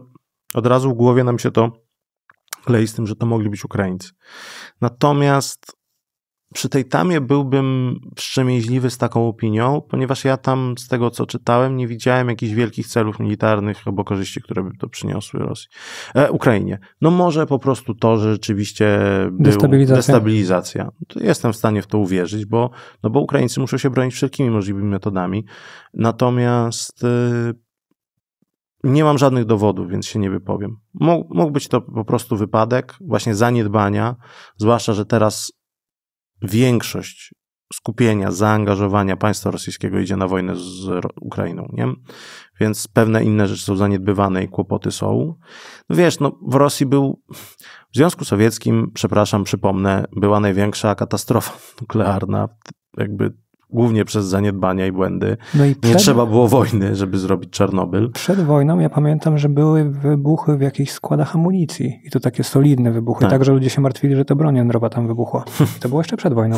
No tak, więc a i tutaj trudno Ukrainie o cokolwiek mm, posądzać, bo Ukraińcy wtedy na paluszkach, Zeleński miał taką taktykę, Zresztą wielu teraz mu ją zarzuca, że on w żaden sposób stara się nie sprowokować Rosji. Że to jest właśnie na tej zasadzie, że że na początku, przed wojną, oni robili wszystko, żeby Rosji pokazać, że my mamy rączki tutaj, my, nie ch my chcemy pokojowo, my się chcemy dogadać. Zeleński nie chciał wojny. To wiele można negatywnych rzeczy za zarzucić prezydentowi Zeleńskiemu i na pewno jego przeciwnicy zaraz to będą robić, jak się tylko o niego zapyta. Natomiast no, trzeba też szczerze i realnie patrzeć na pewne rzeczy. Na pewno nie można mu zarzucić tego, że on dążył do wojny. On nie chciał wojny, on robił wszystko do końca, żeby tej wojny nie było. Jak to jest możliwe, że on ma teraz takie małe poparcie? Mm, no, musiał podejmować niepopularne decyzje, plus nigdy nie miał dużego poparcia w armii. I to jest ten problem. A Wiesz, nie, to poparcie nie wzrosło po tym, jak nie uciekł? E, bardzo wzrosło i w pewnym momencie miał poparcie tam 80-90%, tylko potem podejmował kolejne decyzje różne, które różnie były oceniane i dużo jest pytań w stosunku do jego otoczenia. E, no i przez to jego poparcie spada i to mocno. E, I to serio do takiego stopnia, że to jest kilkanaście procent? No według niektórych sondaży tak. Teraz pytanie, wiesz, i znów przypominam, że mamy wojnę, trudno się przeprowadza sondaże w Ukrainie, często to są sondaże jakieś telefoniczne. Na ile to są wiarygodne dane? Wiesz, ja dlatego nie podaję jednego sondażu na przykład, nie opieram się na tym, bo przecież media też w Polsce, w, nasz, w ogóle we wszystkich krajach kochają sondaże polityczne, gdzie opublikujemy co do przecinka procentowego, tylko to są sondaże, wiesz, zrobione na próbie tysiąca osób, a tu mamy jeszcze wojnę. Tak. No, czy to jest napisane małym druczkiem na grafice pod każdym sondażem, nie, że tam e, sondaż przeprowadzony metodą jakby te, telefoniczną na e, próbie tysiąca osób. Nie? No, no, i to jest no, Tylko w, jedne, tysięcy. w jednym malutkim miasteczku tak, gdzieś tam. Tak. To, no, no to, to już jest w ogóle wtedy niewiarygodny niestety sondaż, ale często na zamówienie partii się takie robi. Celowo gdzieś, żeby podbić sondaże. A, a na stół polityków trafiają te sondaże na przykład zrobione w całej Polsce, których się nie publikuje i tak dalej, i tak dalej. Mm, niestety, to są metody, proszę Państwa, manipulacji, e, z których sobie Państwo też powinni zdawać sprawę. E, kreowanie informacji, jak to, jak to pewnie mówią niektórzy. E, natomiast jakby wracając do, do meritum, jeśli chodzi o to poparcie dla Zeleńskiego, dla prezydenta Zeleńskiego, trudno mi to jest określić. Trudno mi jest określić, czy to jest, wiesz, 30 parę procent, 40 procent, 50 parę procent, 20 parę procent, czy nawet kilkanaście procent. Na pewno dla jego partii rzeczywiście było kilka takich sondaży, które wypłynęły, gdzie było kilkanaście procent. E, no, oczywiście jakby telewizja Petra Poroszenki w ogóle dała, z tego co pamiętam, taki sondaż, gdzie nawet mniej, ale to też trzeba mieć e, spojrzenie na to, że piąty kanał jest jednak kanałem, którego właścicielem jest były prezydent, więc siłą rzeczy te sondaże mogą być w sposób specyficzny robione. I wrócę do meritum. Ważne jest to, że widać ewidentnie, że to poparcie spada. Ale gość musi być sfrustrowany, co? Tyle ryzykuje za państwo i jednocześnie tak sondaż mu spada absolutnie. Myślę, że tak. No myślę, że też wiesz, myślę, że jednak mimo wszystko może się też innymi rzeczami przede wszystkim martwić. Pojawiło się też kilka takich rzeczy w trakcie ostatnich miesięcy, które mogłyby być zaskakujące, na przykład dla mnie też były zaskakujące. Mhm. E, przeprowadzone reformy, które wydawało się, że trzeba było przeprowadzić. Mm, natomiast te reformy, choć na papierze wydawały się bardzo mądre i sensowne, przyniosły odwrotne skutki od zamierzonych. Niestety, ale znów okazuje się, że sytuacja wojny sprawia, że państwo nie funkcjonuje w przewidywalny sposób. I na przykład, kiedy zmieniasz ministra obrony, gdzie były podstawy do tego, żeby go zmienić, to może się okazać, że nie ma tak zwanej ciągłości. I o ile ta ciągłość e, w zarządzaniu konkretnym resortem nie byłaby problemem w czasie pokoju, bo po prostu facet by się dłużej wdrażał, nowy by się dłużej wdrażał do zarządzania stanowiskiem, potem by przyszedł, zrobił reformy. To w sytuacji, kiedy jest wojna i trzeba cały czas podejmować decyzje i prowadzić działania, taka zmiana może być destrukcyjna, totalnie destrukcyjna dla, dla choćby resortu, dla pracy armii i tak dalej. I kilka rzeczy w armii zmieniono, które na papierze miały sens. Natomiast niestety, ale no przyniosły na razie negatywne skutki. I, no i to jest właśnie ten problem, że Ukraina jest w trakcie wojny i próbuje reformować jednocześnie swój kraj. To jest bardzo trudne, a społeczeństwo nie będzie do końca tego rozumiało, no bo społeczeństwo chce zmian, chce tu i teraz zmian, jest wojna, chce, żeby było lepiej. I znów wracamy też do sytuacji, w której no, nie może być lepiej, jeżeli Ukraińcy nie mają samolotów F-16, bo gadaliśmy tyle o tych bo- i wielu innych rzeczy, bo to nie jest tak, że dostaną samoloty F-16, my o tym też już mówiliśmy wielokrotnie w poprzednich rozmowach. Ale oni mają je dostać dosłownie w tym miesiącu. W Tak, oni od roku mają je dostać dosłownie za chwilę. Od ponad roku. Czyli My o nich rozmawialiśmy. Nie wierzę w to, że w tym miesiącu. To też było zabawne, bo ja też przeczytałem, że w tym miesiącu wszystkie media podały, nie, że tam miałem weryfikację dwóch źródeł, miałem dziesięciu źródeł, podałem te informacje i potem przeczytałem, że e, Ukraińcy podają informację, że tłumacz źle przetłumaczył i tak naprawdę, że to była nadinterpretacja, że już Duńczycy już podają, że to jednak będzie za dwa miesiące albo trzy. Słuchaj, Dania podobno ma część swoich samolotów przekazać Argentynie, bo Zachód próbuje Argentynę przyciągnąć na swoją korzyść. Mają sprzedać y, Argentynie samoloty po bardzo okazyjnej cenie. a Wszystkie te samoloty miały iść na Ukrainę. Ale chodzi o to, że Ja Argentyna. myślałem, że to dodatkowe samoloty pójdą do Argentyny. Mm, Mam nadzieję, że to będą dodatkowe samoloty, ale zwróć uwagę, że skoro dodatkowe pójdą do Argentyny, to mogły pójść te wszystkie do Ukrainy, nie? No to Ukraina toczy wojnę, nie Argentyna. No ale w tym wielkim, światowym konflikcie, który ma miejsce, który nie przypomina często wojny, tylko chodzi o rywalizację, Argentyna jest bardzo ważna, bo jest krajem południa globalnego, krajem ważnym gospodarczo, krajem z Ameryki Południowej i co najważniejsze, krajem, który do tej pory sprzyjał dość mocno Rosji i właśnie krajem globalnego południa. Więc jeżeli Argentyna chce przejść na naszą stronę, to Stany Zjednoczone. Dawaj, co, co mamy Dawaj, zrobić? dawaj. Co mamy zrobić, żebyś, żebyś, żebyś do nas przyszła Argentyno, piękna, wspaniała, cudowna, z e, pięknymi, e, z, z pięknymi krajobrazami i tak dalej, i tak dalej. No i, I z znowu, gospodarką interesującą dla nas. znowu wracamy do tej strategii, że my siedząc tutaj w Polsce mamy ograniczone bardzo patrzenie, bo Tak. wojna jest zaraz za granicą, Tak. a jak jesteś w Stanach Zjednoczonych, to masz cały świat, którym trzeba zarządzać. To po pierwsze, a po drugie, my musimy sobie zdać sprawę i o tym zaczęli już też wprost mówić Ukraińcy, a my już chyba kiedyś o tym mówiliśmy, że celem Stanów Zjednoczonych, z całym szacunkiem do, y, do wuja sama i do naszego najważniejszego sojusznika, który zapewnia nam bezpieczeństwo, za co chwała Stanom Zjednoczonym. Natomiast też trzeba mówić wprost, że Stany Zjednoczone po prostu prowadzą politykę, która jest dla nich ważna i skuteczna. Ukraina nie jest sojusznikiem Stanów Zjednoczonych, tylko partnerem. Ukraina nie jest w NATO. I dla Stanów Zjednoczonych celem wielkiej strategii, a Stany Zjednoczone mają wielką strategię w odróżnieniu od Polski, celem tej wielkiej strategii Stanów Zjednoczonych jest pewien szerszy konflikt i szersza rywalizacja, czy głównym tematem jest szersza rywalizacja i osłabienie pewnych dwóch przede wszystkim krajów. I dlatego dla Stanów Zjednoczonych zwycięstwo Ukrainy nie jest korzystne. Nie jest oczywiście jeszcze bardziej korzystne, czy jeszcze mniej korzystne jest zwycięstwo Rosji. Będzie przeciwdziałać temu, żeby Rosja wygrała. Więc co jest dla Stanów Zjednoczonych korzystne, jeżeli w tej chwili nie może być rozstrzygające zwycięstwo Ukrainy dla nich korzystne, ani nie może być zwycięstwo Rosji? Kontynuowanie wojny jest korzystne dla Stanów Zjednoczonych. Ale tak sobie myślę o tych Stanach Zjednoczonych, przecież oni musieli mieć świadomość tego, jakie będą konsekwencje i i że jeśli Rosja przejdzie na gospodarkę militarną, to oni w Tak. pewnym momencie zaczną być silniejsi i silniejsi i silniejsi. No tak. Więc oni o tym wiedzieli już pewnie od dawna. Tak. Więc to nie jest dla nich żadne zaskoczenie. Wiesz, zawsze jest jednak takie ryzyko, czy zawsze jest y, jeszcze, są jeszcze inne aspekty, bo my mówimy o tym, co jest, się dzieje w tej chwili. Rok temu nawet Władimir Putin myślę, że się wielu rzeczy nie spodziewał. On miał wiele obaw. Miał bunt Prigorzyna, który nie wiadomo do końca do dzisiaj czym był. Miał sytuację wewnętrzną w Rosji w zupełnie innym stanie. Teraz ma skonsolidowaną władzę, najsilniejszą władzę od początku tej wojny. Wszystko jest na swoim miejscu i widać, że i Putin inaczej się zachowuje, inną ma mowę ciała, inaczej wygląda, zdrowiej, inaczej się pewniej zachowuje. To się wszystko wydarzyło. Czyli w tej kwestii wszystko poszło nie tak, jak chciałby Zachód.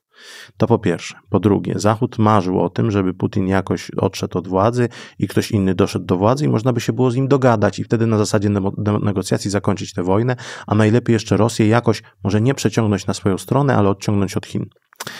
Mm, Widać, że to się nie udaje, więc teraz naciski na Chiny, żeby Chiny przestały wspierać Rosję, a Chiny pokiwają głową, a zrobią swoje, bo Rosja jest dla nich kluczowym sojusznikiem i teraz oba te kraje razem są rzeczywiście problemem dla, dla reszty świata.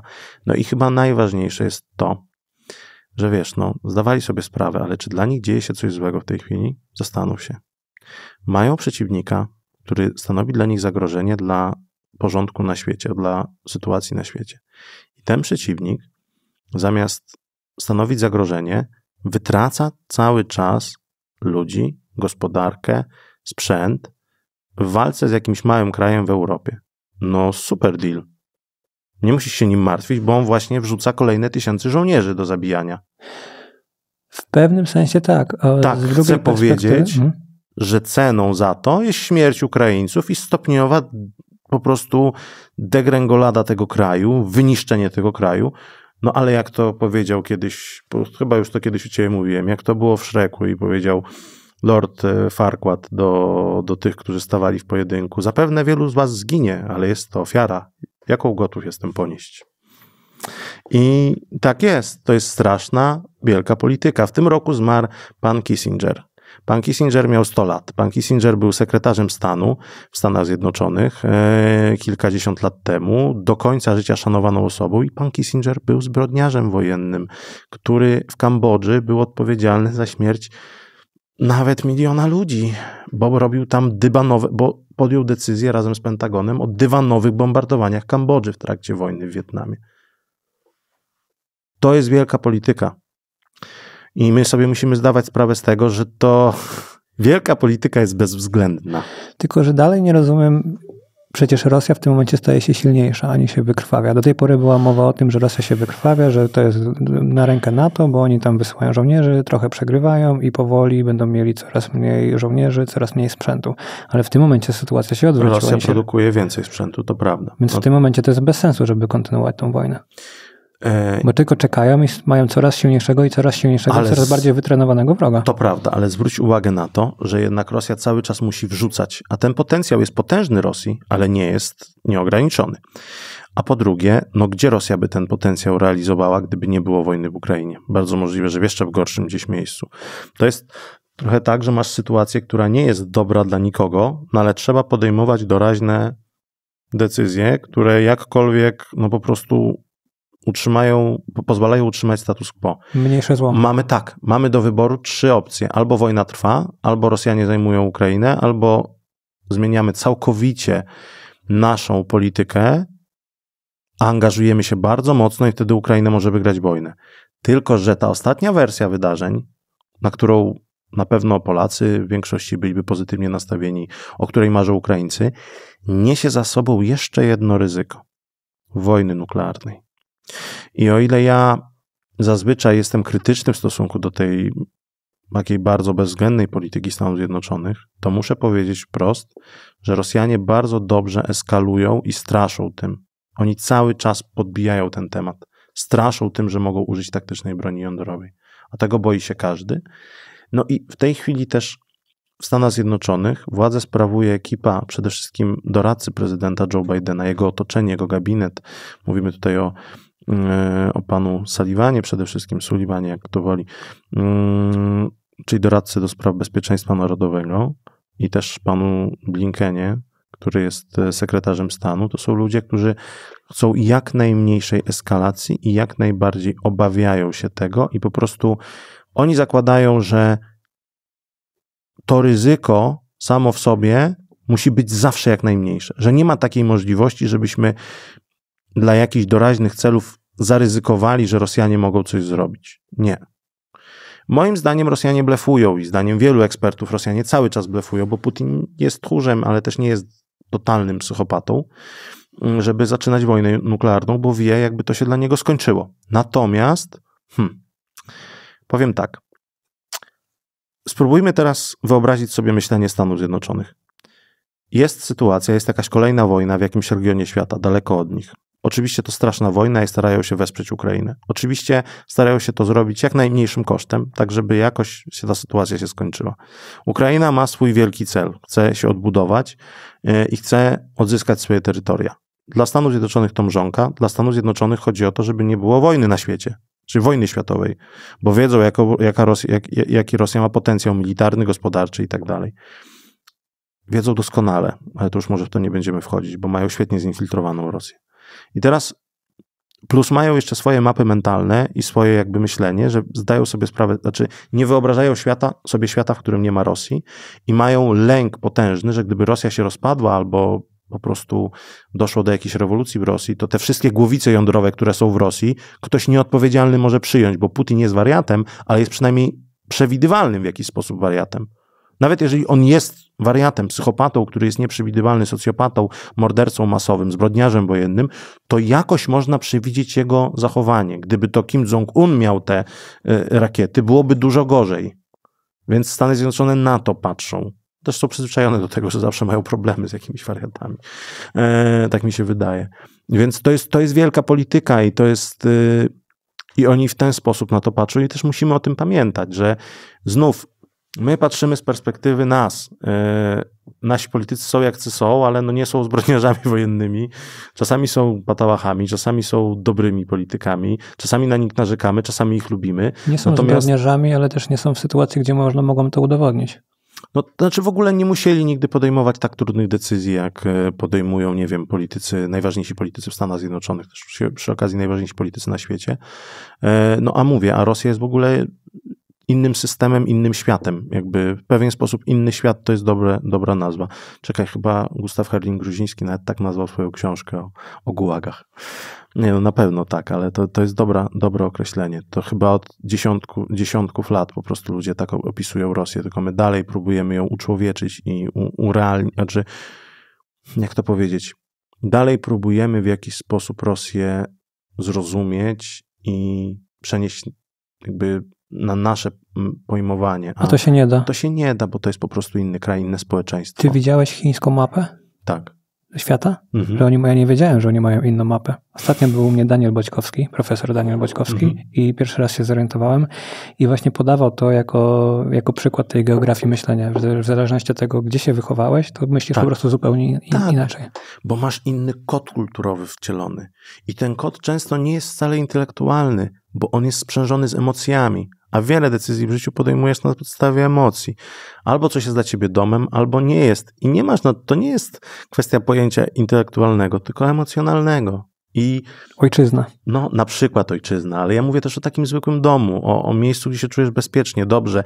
Dla jednych to miejsce to będzie, ja to cały czas tłumaczę sobie w Ukrainie, poznając ludzi, którzy zostają w Charkowie, bo tam jest dom i oni się tam czują bezpiecznie. W miejscu, gdzie spadają rakiety, oni czują się bezpiecznie. Dobra, dobra, pamiętaj, że ty tam pojechałeś z Polski i ty ich zrozumieć nie możesz. No, no, no, nie mogę, ale ja tam, wiesz, ja mam tutaj dom i cały czas o tym pamiętam i tutaj się czuję jednak najlepiej. Tak, ale nie rozumiesz ich z uwagi na to, że podejmują ryzyko, a ty tam specjalnie jedziesz. No tak, tak. No, Chcesz o coś zapytać? Nie. Chcesz o czymś porozmawiać? Nie, nie tylko, tylko przedstawiam inną perspektywę. Znaczy wiesz, u mnie ta perspektywa jest też inna, bo my o tym rozmawialiśmy, to o tym wiesz. Ja już w tej chwili mam trochę prywatny, prywatny osobisty. Um, u mnie to już zaszło trochę za daleko. To znaczy, u mnie to jest tak, że po pierwsze, ja mam głębokie poczucie tego, że w tej chwili dzieją się najważniejsze rzeczy w Europie i na świecie w ostatnich kilkudziesięciu latach że mamy moment przesilenia i to, co dzieje się w Ukrainie, to, co dzieje się na Bliskim Wschodzie, to, co się może niedługo, mam nadzieję, że nie, będzie działo na Tajwanie, to są rzeczy, które zmienią możliwe, że obraz naszego świata na kolejne kilkadziesiąt albo kilkaset, no kilkaset raczej nie, ale na kolejne kilkadziesiąt lat. To jest sprawa pierwsza. Po drugie, ja uważam, że tam się dzieją straszne rzeczy, którym jakkolwiek, jeżeli możemy, to powinniśmy przeciwdziałać. Taką malutką cegiełkę czuję, że do tego dokładam. Czasami wioząc jakiegoś drona, czasami komuś pomagając, czasami wożąc jakiegoś psa, a czasami po prostu mówiąc o tym i informując o tym wszędzie, gdzie się da. I w Twoim kanale, i w swojej telewizji, i czasami coś pisząc, i na swoich social media. I dlatego to jest dla mnie ważne, żeby wszędzie to robić. No a po trzecie jest jeszcze kwestia osobista, że zginęło wielu moich znajomych. No a po czwarte ja już teraz mam nagrodę za swoją głowę, więc to już jest trochę inny temat. To już jest teraz trochę taka sprawa, że jak ktoś, że jak ktoś mnie obraża, y, wydaje jakby y, dostaję, dobra, to może też powiedzmy to. Powiedziałem to w jednym miejscu i chcę to też powiedzieć u ciebie, bo, mhm. bo też taką dostałem informację, że warto, żebym o tym powiedział, bo to jakoś zwiększa moje bezpieczeństwo. Dostałem informację od, od służb ukraińskich, że mm, taką wyrażoną wprost, która gdzieś wcześniej coś tam od swoich, jakby coś tam miałem jakąś informację taką zawolowaną z Polski, że, że muszę uważać. Natomiast rzeczywiście dostałem informację, że Rosjanie wyznaczyli 20 tysięcy dolarów nagrody za mnie. To nie jest jakoś dużo, to jest trochę obraźliwe, że tak mało. E, no wiesz, żartuję, no bo co mam zrobić? To jest jednak stresujące i to nie jest nic przyjemnego. Natomiast e, hmm, to chyba nie chodzi o mnie tylko, tylko to chodzi ogólnie o dziennikarzy z Polski, którzy tam pracują. Oni po prostu chcą się chcą dorwać jakiegoś dziennikarza z Polski, żywego lub martwego. Jakie, jakie to było dla ciebie doświadczenie, dowiedzieć się czegoś takiego? Czy już byłeś taki przyzwyczajony do tego wszystkiego, że... Nie, to nie jest tak, że byłem przyzwyczajony. Wiesz co, na początku bardziej się, jak zobaczyłem, jak zginął Nurzyn, to wrócimy do tego, jak mu rozbito tą głowę, to wtedy mnie to tak ruszyło, bo to po tym się dowiedziałem pierwszy raz, że jest coś nie tak, nie? że jest, ale w tej orbicie zainteresowania, to ja już byłem wcześniej, to co ci mówiłem, jakieś obserwacje, jakieś Facebook, logowania, jakiś Instagram, jakieś dziwne rzeczy, jakieś wiadomości, te trole wszystkie i tak dalej. Mm, tu bardziej nawet też jakaś próba kontaktu, e, dziwnej osoby, która się podawała za dysydenta rosyjskiego, z którym nie poszedłem na kawę, choć się wahałem, bo, bo myślałem, że kurczę, może fajnie napisałbym o tym reportaż. E, no bo ja wtedy od razu się kontaktuję z, właśnie z którymś ze swoich znajomych e, na emeryturze. Teraz to już psujesz całą zabawę.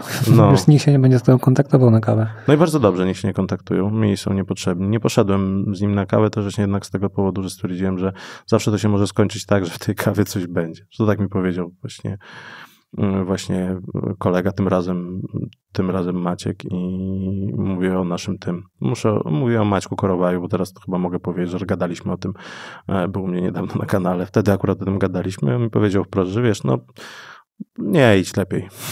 Jakie realia to? Powiedziałbyś trzy lata temu? Że nie, nie powiedziałbym. To są, wolę o tym nie myśleć, wolę tak tego o tym nie myśleć, a że jest dnia na dzień w tej chwili.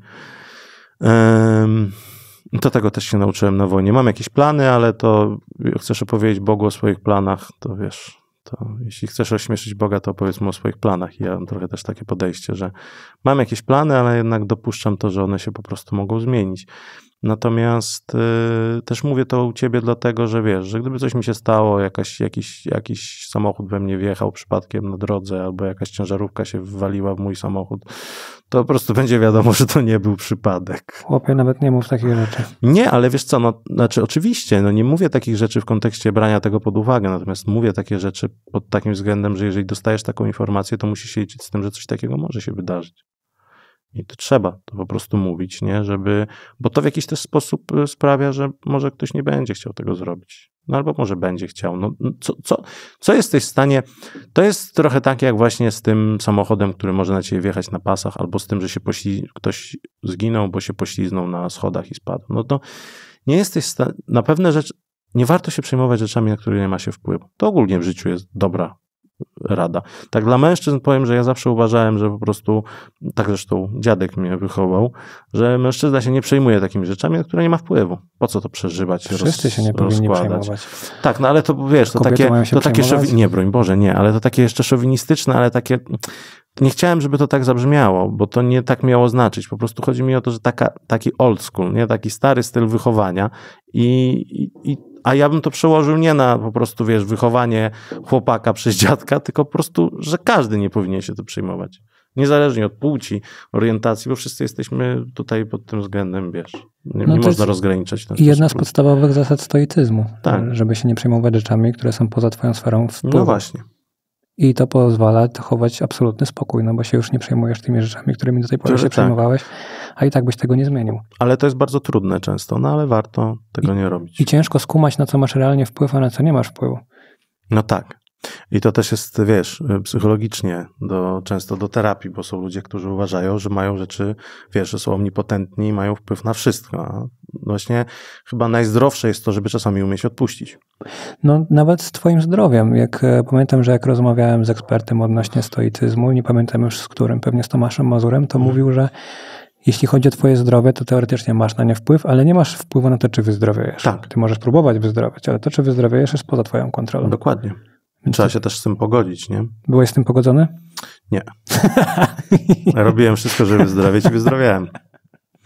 A czy, ale starałem się tym nie przejmować, tak? Starałem się tym nie stresować, starałem się, żeby to nie niszczyło mi życia. Choć na pewno miało negatywny wpływ, bo ból po prostu jest, bo to, to wiesz, tutaj największym problemem był po prostu ból fizyczny. E, jak cię bolą plecy, tak jakby ci ktoś kijem zajechał, cytując killera, to, e, to to nie jest przyjemne po prostu, to był duży bardzo ból momentami. To oczywiście było raz na jakiś czas, więc jakby, natomiast to też jest jakaś nauka. E, wiem, że są ludzie, którzy żyją stale z bólem i olbrzymi może nie szacunek, ale tak szacunek i współczucie dla nich, bo to jest coś strasznego nie wyobrażam sobie, żeby tak żyć cały czas i podziwiam, że ktoś jest w stanie coś takiego wytrzymać. Co jest dla ciebie aktualnie najbardziej martwiące w tej całej sytuacji? Jak... Ja mam jeden lęk i strach. I jesteśmy w Warszawie. Ja kocham to miasto. Zresztą nie tylko to, Kraków też kocham, Gdańsk kocham, w ogóle całą Polskę lubię i dobrze się w niej czuję. Ale Polskę I dom lubisz. też. Co? Ale Polskę nie, ko Polskę też kocham. E, I Lublin kocham, i Lubelszczyznę kocham, i, i Chrubieszów bardzo lubię i mógłbym tak długo wymieniać. Natomiast e, chodzi po prostu o to, że ja się boję, że zobaczę kiedyś e, to, co widzę w Ukrainie u nas. Bardzo się tego boję. To jest mój największy lęk. Wierzę w to, że tak nie będzie, natomiast ten strach z tyłu głowy jest i, i chciałbym, żeby. Może wszyscy tego nie zrobimy, bo niektórych to nie interesuje, ale przede wszystkim nasz rząd, ale też my jako społeczeństwo, żebyśmy zrobili wszystko, żeby tak się nie stało. Bo Rosja nie jest głupia i oni na pewno by nie weszli tutaj, gdyby wiedzieli, że to się dla nich wiąże z dużymi konsekwencjami i ze, z, wiesz, po prostu ze z dużymi stratami, że to by ich za dużo kosztowało. I po prostu my musimy zrobić wszystko, żeby oni tak myśleli. Bo Rosjanie nas postrzegają w bardzo specyficzny sposób, o czym my sobie nie zdajemy sprawy. Oni doskonale sobie zdają sprawę z tego, że my nie mamy pewnych zdolności. Oni wiedzą, że my nie posiadamy pewnych rzeczy. Bo oni nas dobrze zinfiltrowali, infiltrują i to widać choćby po sytuacji z panem Tomaszem Szmytem, to nie jest dla mnie zaskoczenie i on nie był tutaj sam, proszę państwa, tam była cała siatka, to nie jest jedyna osoba, a jeżeli wprost Rosjanie mówią, że jesteśmy ich przeciwnikiem, jeżeli mamy tutaj wojnę hybrydową z Rosją, to takich ludzi jest dużo więcej. I to są często tacy agenci, to są często agenci wpływu i tak dalej, i tak dalej. I teraz, jeżeli to wszystko widzimy i Rosja zdaje sobie sprawę z tego, że nie mamy pewnych zdolności, to jak Rosja nas postrzega? Otóż Rosja mimo wszystko postrzega nas jako zagrożenie, bo, on, bo Rosjanie myślą o nas jako o kraju, który po pierwsze, mimo wszystko darzą pewnego rodzaju szacunkiem, a to dlatego, że Rosjanie mają inne spojrzenie, tak jak powiedziałeś o tych Chinach. Oni inaczej patrzą na świat i na politykę międzynarodową i na mapę.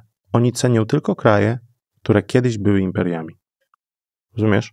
Mają historię. U nich kluczowym aspektem jest aspekt historyczny. Polska, proszę Państwa, chcemy czy nie chcemy, była kiedyś Rzeczpospolitą i była pewnego rodzaju imperium w regionie. I Rosjanie tak na to patrzą, że my byliśmy kiedyś dla nich zagrożeniem. Teraz nie jesteśmy, bo mamy za słabe możliwości, ale Polacy jako naród, mając to doświadczenie, mogą być kiedyś zagrożeniem, są nieprzewidywalni, więc wnioski jakie mają do nas podejście Rosjanie, możemy wyciągnąć sami w tej chwili. Myślisz, że to jest bardziej emocjonalne, czy widzisz realne zagrożenie, że oni mogliby tutaj dojechać czołgami? Bo to mają kawał Nie, ja widzę realne zagrożenie. Myślisz, że to jest... Tak, ja widzę realne zagrożenie. Ja to widzę kilka realnych możliwości zagrożenia. I kluczowa jest pod tym względem Ukraina. Kluczowa jest dla nas Ukraina, bo póki Rosja jest zaangażowana w Ukrainie, to jest dobrze dla Polski. Bo, nie bo się nie zaangażuje w kraje bałtyckie. A co się stanie, jak się zaangażuje w kraje Oczywiście, bałtyckie? Oczywiście, że się zaatakuje, jeśli cały czas będzie produkowało. No tak, sprzęt. ale co się stanie, jeżeli Rosja zaatakuje kraje bałtyckie? Co my będziemy siedzieli i palili papieroski w Warszawie? No nie, my też będziemy musieli ruszyć. Nie, my się zaangażujemy, żeby bronić krajów bałtyckich, bo to jest nasz obowiązek sojuszniczy. I eskalacja. I mamy wojnę. I wtedy możesz sobie po walizkach, jak to powiedział mi ostatnio Bober, żołnierz polski, który walczy teraz jako ochotnik Ukrainie, wtedy możesz po walizkach przejść przez Odrę, bo tyle ludzi uciekło, no ale część ludzi zostanie bronić Polski, no i co? No jakby wiesz, no to można tak uciekać i do Portugalii, natomiast no, bo rzeczywiście tam raczej Rosjanie nie mają interesu, żeby zmierzać, no natomiast no, mm, to jest to pytanie jakby jak e, się odnosimy do naszego kraju, do naszego domu, do Polski i tak dalej.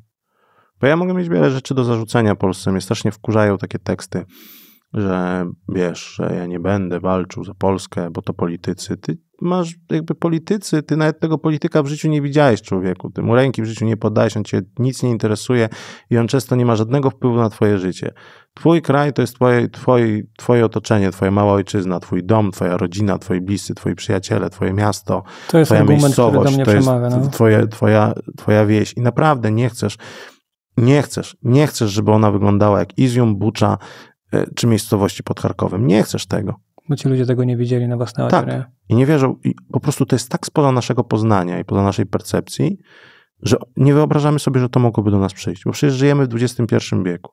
Żyjemy w świecie, gdzie sobie pijemy dobrą kawę, e, pijemy dobrą wodę, siedzimy sobie w pięknym, rozwijającym się mieście, centrum Europy.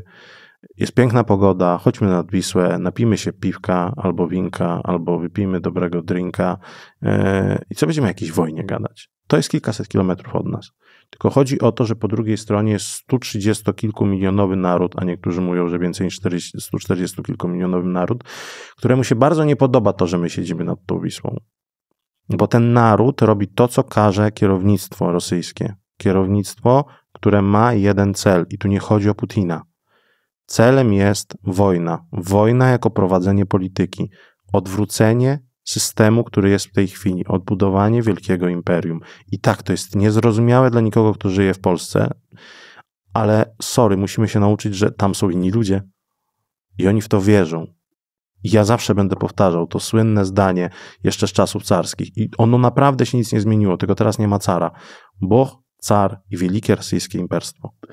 Wydaje mi się, że dobrym porównaniem dla tego, jak, jak różnie Rosjanie mogą myśleć, to jak myślimy sobie o ludziach, którzy wysadzają się gdzieś w... Tak. Bo to jesteśmy w stanie po, Tak. pojąć, to już jest zaakceptowane tutaj. Tak. A o Rosji to nawet mi jest ciężko przestawić Tak. sobie głowę, że to mogą być ludzie aż tak bardzo odle- odlegli, odlegli kulturowo od nas. No bo oni są nam bliscy pod wieloma względami, e, jeśli chodzi o to, że myślimy o nim, że mają jakiś e, słowiański kor, aczkolwiek znów, to jest brednia, bo część Rosjan z Europy, przede wszystkim zachodniej, ma rzeczywiście jakieś słowiański, słowiańską taką genezę. Natomiast przecież Rosja to w dużej większości Azja, do tego Europa Wschodnia I to widać po twarzach po twarzach, więc oni nie mają nic wspólnego ze Słowianami. Więc o czym my mówimy? Ja pamiętam, że na początku wojny właśnie byłem bardzo zdziwiony. Dla mnie to było ogromne zdziwienie, jak widziałem twarze tych żołnierzy. I No mówiłem, myślałem sobie, to nie są tacy Rosjanie, jak ja widzę w internecie. Tak, a armia rosyjska w większości znacznej taka jest, ponieważ do armii rosyjskiej przede wszystkim idą ludzie, którzy idą z biedy i którzy chcą awansu społecznego i oni idą z tych najbiedniejszych rejonów Rosji, czyli właśnie stamtąd. Możliwości mobilizacyjne Rosji to jest na papierze, licząc wszystko, ponad 30 milionów, a licząc ludzi od 18 do 30 roku, chyba 16 czy 15 milionów. Dużo, co? Nie wiem, ile jest u nas. Orientujesz się, ile jest u nas? Nawet nie sprawdzałem. Natomiast jeże- jak kiedy przeczytałem, że 30 milionów, ponad 30 milionów ludzi, oni na papierze, oczywiście to jest nierealne, tak się nie robi, nie mobilizujesz wszystkich i tak dalej. I tu mowa o tych y, też starszych mężczyznach. Natomiast kiedy zobaczyłem, że u nas jest 40 milionów ludzi, a oni mają ponad 30 milionów możliwości mobilizacyjnych, to miałem takie, okej, fajnie. Natomiast wszystko też inaczej wygląda, jak się spojrzy na statystyki z II wojny światowej. Ta historia jest świetnym nauczycielem. Jak się okazuje, że Rosja czy Związek Sowiecki, mając podobną bazę mobilizacyjną, był w stanie stracić 17 milionów żołnierzy. To jest, e, Boże, co ja mówię, 17. E, tak, 17 milionów. Tak, dobrze mówię, 17 milionów żołnierzy. To jest coś, nie? To jest, to jest kosmos. Co ci opowiadali w Charkowie? Wspominałeś o tym, że w Charkowie ludzie opowiadają co innego o tym wielkim głodzie niż czytałeś w książkach. Że ludzie leżeli na ulicach. Tego nie było w że książkach. ciała leżały na ulicach. Wiesz Co, co innego jest, e, w książkach mówili, że ludzie umierali, że się ich sprzątało, ale co innego jest, jak opowiada ci znajoma, że jej prababcia opowiadała, że żeby pójść gdzieś, jak była dzieckiem, trzeba było przejść nad trupem na ulicy. Cała ta historia, wyobrażenie sobie tego, po prostu mi się to od razu z gettem skojarzyło. Że po prostu przechodziłeś na klatce schodowej nad ciałem osoby, która zmarła z głodu. I jak szedłeś ulicą, to widziałeś dzieci, które leżały, które umarły z głodu, ludzi, których nie nadążano sprzątać. My też żyjemy w ładnie odklejonej rzeczywistości od tego, co, jaka historia jest za nami, co? Tak, W takim świecie żyjemy Tak. luksusowym, absolutnie Tak. w luksusowym. cudownym świecie żyjemy, ale też jeszcze zwróć, na który jeszcze narzekamy. Natomiast jeszcze zwróć uwagę, że jest jeszcze jedna rzecz, że my się uczymy nieprawdziwej historii często w szkołach. Bo znów podręczniki piszą po pierwsze zwycięzcy, a po drugie, że czasami nie bierze się pod uwagę pewnych rzeczy. Ja to zrozumiałem niedawno właśnie siedząc i zastanawiając się nad II wojną światową, bo ona w wielu kwestiach ma jednak jakieś odniesienie. Na przykład są tacy rosyjscy filozofowie, tak to określmy, albo teoretycy, którzy uważają, że ta wojna, która się dzieje teraz, to jest tylko kontynuacja II wojny światowej. Że Zachód wygrał wojnę z, z, pomocą Związku Sowieckiego, który wykorzystał, ale ta wojna nigdy się nie zakończyła, bo ten konflikt ideologiczny wschodu z Zachodem nie został, został wtedy odłożony. Potem była zimna wojna, ale ten konflikt ideologiczny, gdzie te ideologie, przede wszystkim ta rosyjska ideologia narosła, jest skrajnie antyzachodnia, ona musi mieć gdzieś ujście. Ale w tym, patrząc na to z tej perspektywy, to on się nigdy nie skończy. Nie no, skończy się. Jak tak jak się skończył, skończyła druga wojna światowa. Na, ta wojna między Hitlerem a Stalinem się jakoś skończyła. I Rosjanie chcą to, chcą to kontynuować. Znaczy tak, oni ideologicznie uważają, że teraz Zachód są, jest tymi faszystami, nazistami i z nimi trzeba walczyć. Czyli rzeczywiście psychologia konfliktu, jakby idea konfliktu całego. I teraz Zacząłeś o tym wielkim głodzie mówić. To trochę będzie taka dygresja, pewnie to Państwa znudzi, ale to jest coś, nad czym ja ostatnio dużo myślałem. Co Może to coś pomoże. Decydujesz o, za ludzi, co ich znudzi, a co nie. Może to coś pomoże zrozumieć na temat Rosji. My mamy zawsze w głowie, że Stalin, kiedy zaczął, zaczął ten wielki głód, to on, jemu chodziło tylko o to wielkie ludobójstwo i wyniszczenie Ukraińców. Pewnie w jakiś sposób tak. Pewnie był to jakiś cel. Natomiast Stalin wcześniej zezwolił na ukrainizację wielu rzeczy.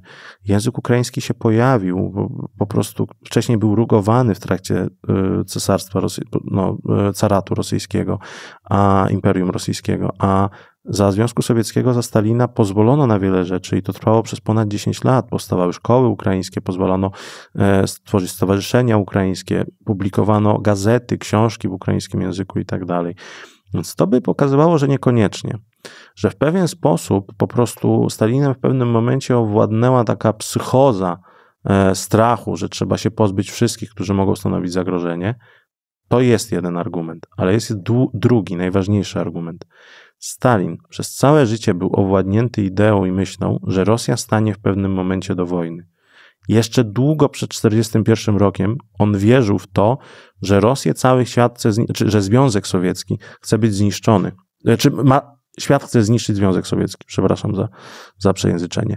I że Związek Sowiecki musi się zmienić i musi się bronić. I w związku z tym on podjął tę decyzję, o której mówił Białorusow e, wielokrotnie i pisał, że Związek Sowiecki musi stworzyć wielki przemysł i wielką produkcję zbrojeniową i wielką armię, żeby móc się bronić. I on to zrobił w ciągu 20 lat. I do tego stopnia był na tym zafiksowany i Rosja była na to zafiksowana, że powstawały w szczerych polach fabryki. Fabryki, które od zera budowano, a żeby móc je budować, to kupowano technologię za eksport zboża. I on był gotowy na to poświęcenie, znów cytat ze Szreka, milionów ludzi tylko po to, żeby zbudować ten przemysł. I on to zrobił. On w ciągu 20 lat po prostu zrobił taką politykę jak w Chinach, wielkiego skoku, tylko ta polityka w, w, Her, no, w Chińskiej Republice Ludowej wielkiego skoku to jest, no, to, to jest w ogóle też abstrakcja, co tam się wydarzyło, jak to było głupie. Ale w Rosji za cenę milionów zabitych oni zbudowali ten wielki przemysł i potężną, potężną, potężną armię. I to jest jedna lekcja historii, że Rosja właśnie ma te możliwości, Rosja jest gotowa na takie poświęcenia i że takie rzeczy się w Rosji zdarzały. I jasne, my powiemy, jest współczesność, więc to już się nie może powtórzyć. Tak, tak. Tylko, że widzimy, że Putin zmusza swój naród i otoczenie, kierownictwo rosyjskie, Kreml zmusza naród rosyjski do tego, żeby żył w większej biedzie, spadł poziom życia i żeby ci ludzie szli do armii i oni się nie buntują. Plus wcześniej, tak, wcześniej tak samo mówili o wojnie, że tak, już nie będzie. Że to się wojny, już nie wydarzy. Że się już tak rozwinęliśmy jako ludzie, że.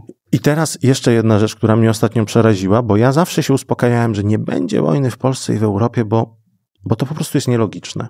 Więc siedzą bardzo inteligentni ludzie na Kremlu, bo to często są inteligentni ludzie, choć zbrodniarze, no i patrzą i no przecież nie, nie zaczną wojny jeżeli nie mogliby jej wygrać. No, na papierze możliwości Zachodu, Stanów Zjednoczonych są zupełnie inne, więc po co zaczynać wojnę, której nie można wygrać? Po czym sobie pomyślałem, hmm, no dobra, jak zaczęli wojnę na Ukrainie, to też no, wiedzieli, jakie mają możliwości zająć taki kraj, no ale dobra, mieli raporty, które to fałszowały. Ale potem znów, grzebiąc w historii, zdałem sobie sprawę z tego, że uczono mnie w szkole nieprawdziwej historii o II wojnie światowej. Bo mnie uczono w szkole, bo byłem na olimpiadach historycznych, to też jest zabawne, ciekawe, co by było, jakbym powiedział to na takiej olimpiadzie, że kiedy Trzecia Rzesza i Hitler zaczynali wojnę, to oni byli w stanie tę wojnę wygrać. Że kiedy zaczynali operację Barbarossa, oni byli w stanie tę wojnę wygrać. Byli w stanie wygrać wojnę ze Związkiem Sowieckim. A to jest bzdura.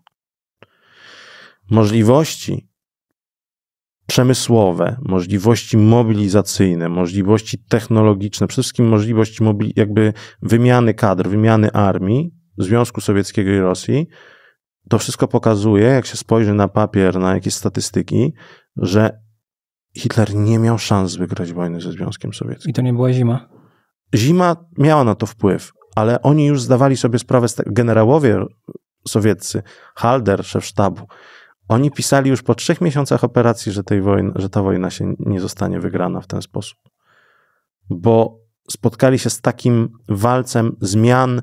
Po prostu po pierwsze, Rosjanie zadawali im za dużo strat, tego się nie spodziewali. Po drugie, oni ponosili właśnie za dużo strat sprzętowych. Po trzecie, logistyka im nie, nie dała rady. A po czwarte, oni byli szokowani, że po zniszczeniu takiej ilości żołnierzy armii rosyjskiej, takiej, zabiciu takiej ilości żołnierzy i wzięciu do niewoli takiej ilości żołnierzy, Rosjanie wystawiają kolejne armie i kolejne armie i kolejne. To nie tak jak teraz na Ukrainie.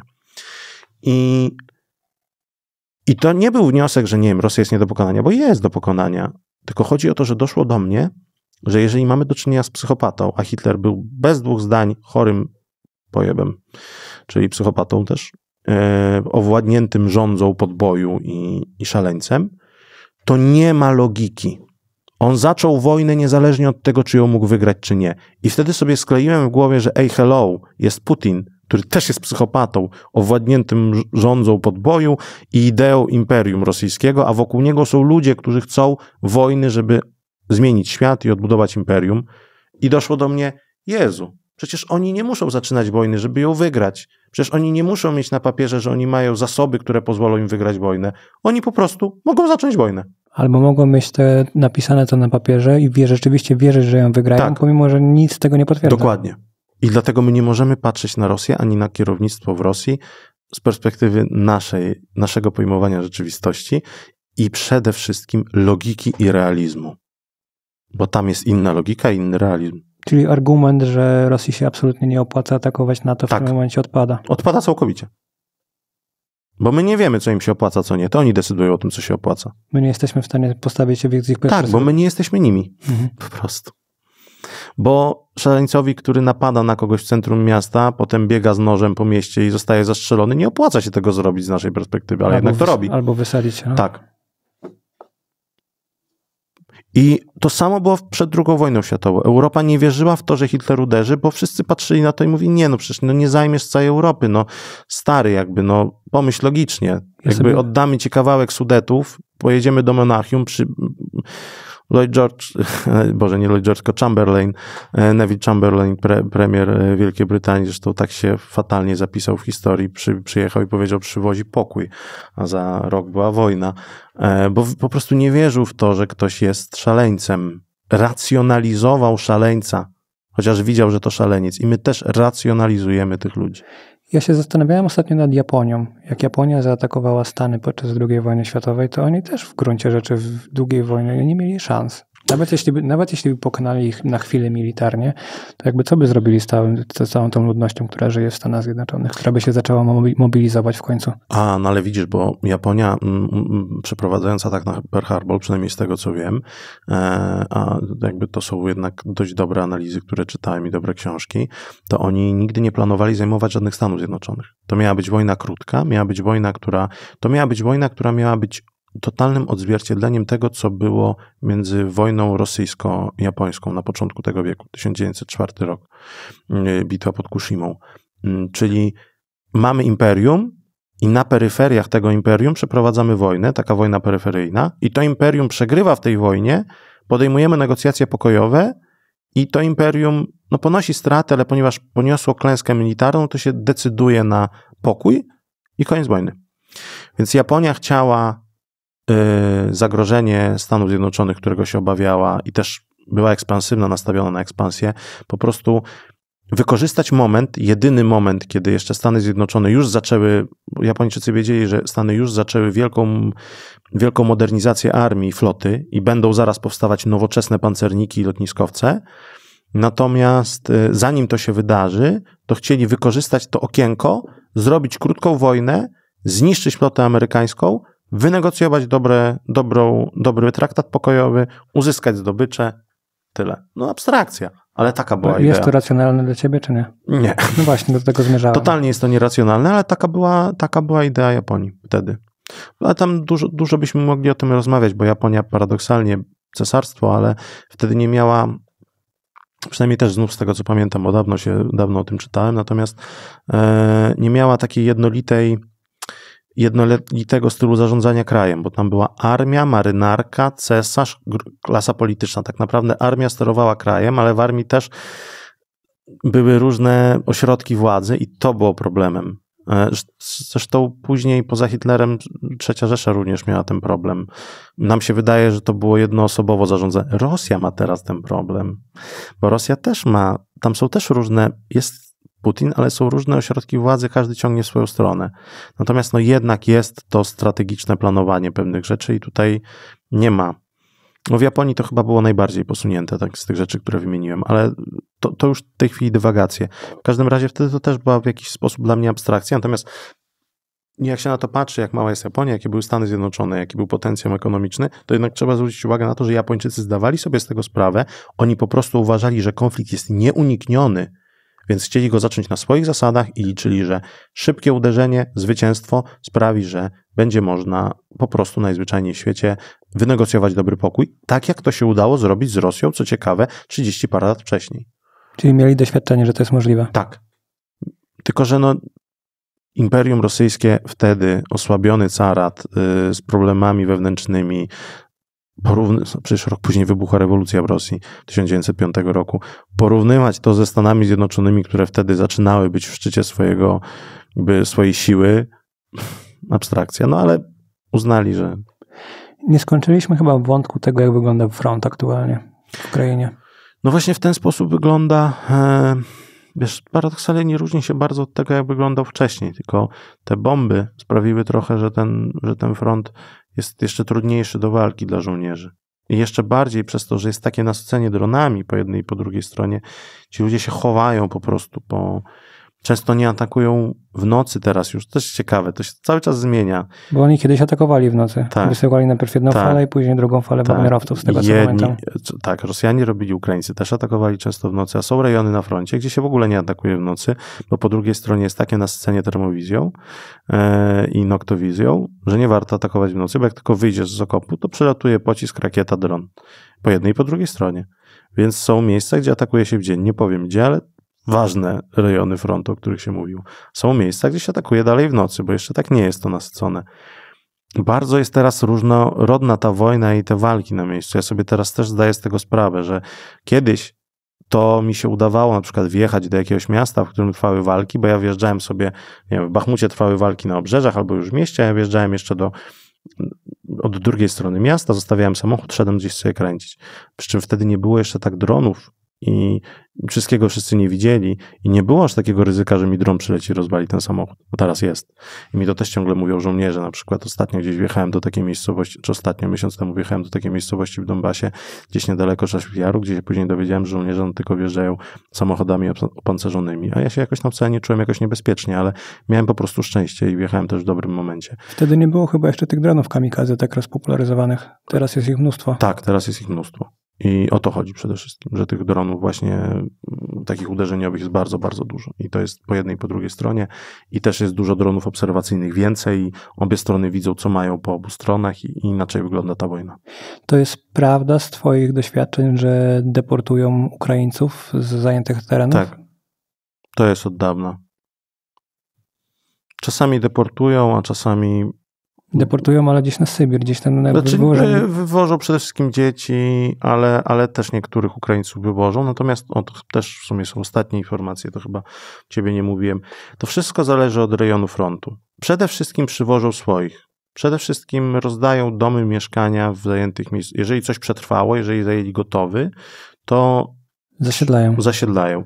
Jeżeli gdzieś dalej trwają walki, to rzeczywiście część ludzi wywożą, bo nie chcą mieć tam ludzi często, w sensie miejscowych. Ale są miejscowości, gdzie nie robią nic. Tylko na przykład mają e, oddziały okupacyjne. I na przykład są takie miejscowości, i to jest z pierwszej ręki, e, że bo mam znajomego, e, którego rodzina jakby jest na terytoriach okupowanych. I ma to szczęście, że ta część jego rodziny urodziła się w ogóle na terytorium Rosji. Jako ten, ta osoba z jego rodziny urodziła się na terytorium roku, Rosji, a jej partnerka, e, jakby jego, jego partnerka też się urodziła na tam terytorium Krymu, nie?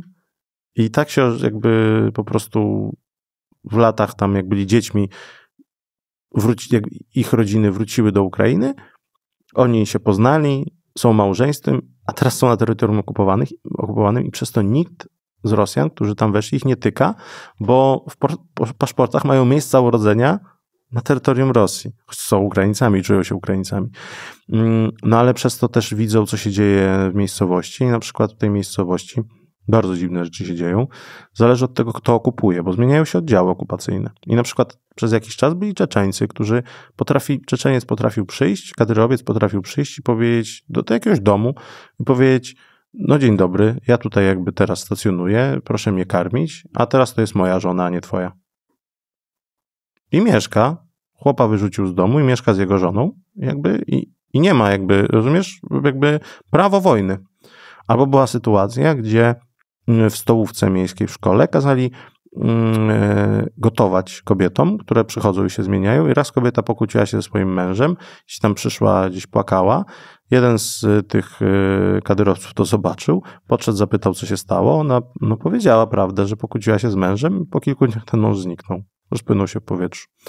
I jakby Oczywiście no ciekawi mnie, jak się czuła później ta kobieta, natomiast chodzi o to, że to są takie rzeczy jakby z pierwszej ręki, i, ale to też pokazuje, co tam się dzieje. To znaczy, że aczkolwiek oni na przykład o kadyrowcach mówili, że to jest jeszcze że oni się tam dość w miarę dobrze zachowują. Oczywiście jest to ryzyko właśnie takich rzeczy i że kobiety się ukrywają, zakrywają włosy i tak dalej i trochę tam wprowadzono coś w rodzaju prawa szariatu i tak dalej, ale że na przykład jak byli e, okupanci z terenów obwodu donieckiego, dawnej Donieckiej Republiki Ludowej, to byli jeszcze gorsi, że oni się znęcali nad ludźmi, okradali, zatrzymywali, torturowali, bo oni tak bardzo nie, nienawidzili Ukraińców, no bo tam ta wojna od 10 lat i tam jest zbudowana taka głęboka nienawiść wzajemna. Więc no, jakby co, co, co powiedzieć, no na tych terytoriach okupowanych mało wiemy, co się dzieje, ale dzieją się straszne rzeczy. To jest po prostu totalny brak prawa. My sobie musimy z tego zdawać sprawę, że wojna to jest przede wszystkim brak prawa i po stronie ukraińskiej tego nie ma, bo tam zostały instytucje państwowe, prawda? Działa państwo jakoś, działa jakoś policja do końca, więc nie ma czegoś takiego. Natomiast po stronie rosyjskiej, na terytoriach okupowanych jest całkowity brak prawa, rządzi, bierz, przemoc i, i to jest no, koszmar. Pamiętam, że ktoś właśnie u mnie w podcaście mówił, że linia frontu to jest bezprawie totalne. Nikt, tak. nikt się nie zweryfikuje. Nikt, tak, tak, tak.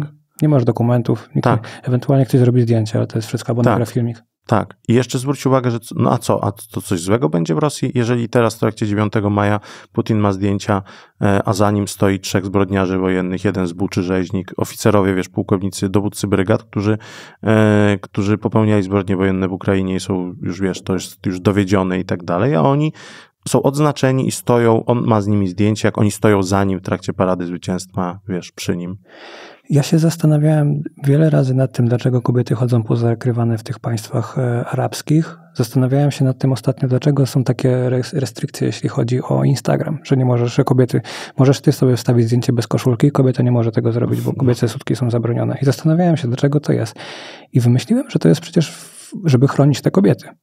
Bo sobie jest mnóstwo psychopatów i tak jak powiedziałeś teraz, jeśli kobiety są w tych zajętych miejscach, to zakrywają włosy i zaczynają zachowywać się w inny sposób po to, żeby się chronić. Znaczy one się zaczęły chronić, no po prostu widziały, jak e, ci Czeczeńcy się do nich odnoszą, bo po prostu ten kod kulturowy, niestety, ale ten kod taki ortodoksyjno-islamski, taki totalnie, wiesz, fundamentalistyczny został tam wprowadzony i to chronić się, no to kurczę, no to wiesz, to, to jakby kobiety nie powinny się musieć chronić. No ja jest, do tego zmierzam chore, właśnie. nie? Jakby, do tego zmierzam. Ale no właśnie w takim miejscu, gdzie panuje przemoc i rządzi silniejszy, to po prostu przemoc jest każda. Przemoc seksualna, przemoc ekonomiczna, kradzieże, to się dzieje na terytoriach okupowanych w Rosji. Znaczy, na terytorium Rosji, aczkolwiek no, kwestia przemocy w Rosji to jest też oddzielny temat, który też jest dużym jakby problemem na pewno w Rosji. O tym się mówi, o tym się pisze, o tym są całe raporty organizacji międzynarodowych, no ale wiadomo, że to jeszcze wzrosło w trakcie, w trakcie no, wojny. Zmierzałem do tego, że powinno być więcej obostrzeń na mężczyznach, moim zdaniem. No, jeśli, powinno być. jeśli mężczyźni się potrafią zachowywać jak zwierzęta, to w takim razie ich się powinno ograniczać, a nie tak, kobiety. Dokładnie, dokładnie. Zgadzam się. Mam nadzieję, że kiedyś dożyjemy takiego świata, gdzie mężczyźni będą dużo bardziej obwarowani. I sam, no, mówię to sam, będąc mężczyzną. No ale właśnie, bo jesteś mężczyzną, który to mówi, co nie jest dość często. Ja się przychylam do tego twojego wniosku i zgadzam się całkowicie. Problem polega na tym, że pamiętajmy o tym i tutaj się zgadzam z wieloma organizacjami kobiecymi, które o tym mówią, że jednak światem rządzą dalej w większości mężczyźni i oni często nie chcą obwarowywać się żadnymi dodatkowymi prawami. Po naszej stronie też, w świecie zachodu również, nie? No ale to odbiegliśmy od. Y, ja bym chciał jeszcze tylko powiedzieć o jednej rzeczy. Y, cały czas na Bliskim Wschodzie, skoro gadamy, trwa po prostu coś strasznego. Y, armia kraju, który właśnie w tej chwili przeprowadza interwencję w gazie, zabija cywilów, bombardując różne miejsca, i to jest coś strasznego. I pomijając to, o czym rozmawialiśmy w poprzedniej rozmowie, jak straszne było to, co wydarzyło się mm, na początku, kiedy Hamas zaatakował e, kibuce i zaatakował e, po prostu różne miejsca w Izraelu. To było straszne i o tym trzeba pamiętać i zakładnicy zostali wzięci, oni byli też strasznie traktowani bardzo często, też właśnie kobiety i to wychodzi teraz w tej chwili. To jednak też to, co się dzieje cały czas w tym momencie, to jest dla mnie też nie do przyjęcia i czy też po prostu to jest nie do przyjęcia i świat nic z tym nie robi. Będziesz tam jechał jeszcze? Bardzo bym chciał. Natomiast no, na razie pracuję w Ukrainie i to mnie trochę ogranicza. Nalać ci wody? Jeśli byś mógł, bo trochę mi zaschło. Bardzo bym chciał, e, no tylko mówię, no, też sytuacja w Ukrainie tak narosła, że, że jakoś no, teraz tam się po prostu osiedliłem znowu i, i tam pracuję. Też Więc... nie da się zrobić wszystkiego, nie? Tak, jakby, tak. Fajnie by, było, jakby, fajnie by było, jakby tam ktoś właśnie teraz na stałe był i coś stamtąd relacjonował, no ale... Jest jakiś polski dziennikarz tam? Ja nic nie wiem, żeby ktoś był tam na stałe. Dobra, ja zapytałem Cię dzisiaj o wszystko, o co chciałem Cię zapytać. Mhm. Bardzo Ci dziękuję za ponowne przyjście. Powiedz jeszcze proszę ludziom, gdzie mogą Cię szukać w internetach, gdyby chcieli. No to na moim kanale, kanał korespondent.pl na YouTubie. Zapraszam Państwa serdecznie. Jeżeli macie ochotę, to, to dodaję tam cyklicznie e, kolejne rzeczy. Przede wszystkim możecie mnie oglądać też w telewizji polskiej, bo jestem korespondentem stałym telewizji polskiej w Ukrainie w tej chwili. Możecie y, czytać to, co publikuję na mediach społecznościowych, na Twitterze, na Instagramie, na Facebooku. Czasami, ostatnio w ogóle nie, ale mm, kiedyś jeszcze pisałem do Newsweeka, teraz ostatnio po prostu nie mam na to czasu, aczkolwiek chciałbym coś tam też za jakiś czas napisać znowu. Także zachęcam, jeżeli Państwo mają ochotę, to, to serdecznie zapraszam, jeżeli Was zainteresowała ta rozmowa. A ja Ci bardzo dziękuję i po oglądnięciu tego filmu 20 dni w Mariupolu jakby mam dużo więcej szacunku do tego, co robisz i to nie dlatego, bo wcześniej miałem mało szacunku, tylko bo jak się zobaczy rzeczy, to się dużo, dużo inaczej do tego podchodzi. I jak widziałem, pamiętam, że oglądałem ten film i nagle ludzie się rzucają na ziemię, tak dosłownie się rzucają na ziemię. Takie standardowe mm. padnie jak na wojnie, tylko że tak. jak tego nie widzisz i nie, i nie wyobrażasz sobie, to człowiek musi mieć w głowie, żeby bać się do tego stopnia, że po prostu się paść na ziemię bez, bez żadnego mm. zahamowania, to sobie zaczynasz zdawać sprawę z tego, w jakim strachu ci ludzie żyją. I wiem, że ty żyjesz w takim strachu będąc tam i naprawdę ogromny szacunek z mojej strony. No, dziękuję ci. Powiem Chociaż ci, wiem, że... że ty nie lubisz komplementów. No, znaczy, to, to, że nie lubię, tylko nie wiem, jak na nie reagować. To bardzo miłe, ale nie wiem, jak na nie reagować. E, aczkolwiek e, powiem ci, że dla mnie to było bardzo trudne ten film obejrzeć, bo on mi bardzo dużo przypomniał właśnie takich rzeczy z początku tej wojny. E, może nie będę też mówił jakiejś historii, bo, bo też przyjeżdżali właśnie ludzie. Ja, ja byłem w weekend majowy 2022 roku, ja byłem pod Zaporożem, Zaporożu, tam gdzie przywożono pierwszych cywili ewakuowanych z Azowstalu, który już był oblężony.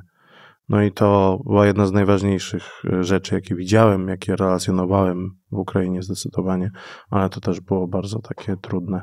No tam się wtedy też nie dało wjechać niestety do Mariupola, więc też olbrzymi szacunek dla ludzi, którzy, którzy zrobili ten film, ale no jest wstrząsający u mnie, budzi jakiś dużo dużo jakichś e, ciężkich wspomnień z początku tej wojny, no ale pokazuje, naprawdę pokazuje po prostu, jak ta wojna wygląda, więc też Państwu polecam Polecamy, myślę, jeżeli ktoś chce zrozumieć, jak to wyglądało. Ciarki mi przechodzą od razu. E, no najgorsze w tym filmie to, co ja oglądałem, jak to, nad czym najbardziej nie mogę przejść, to jak ludzie są bezbronni i nie są sobie w stanie sami poradzić. To jest, to jest dla mnie najbardziej bolesne. Oglądać ludzi, którzy po prostu są dostali jakimś odłamkiem, bądź są po wybuchu bomby i nic nie mogą zrobić. Albo im lekarze pomogą, albo po prostu umrą.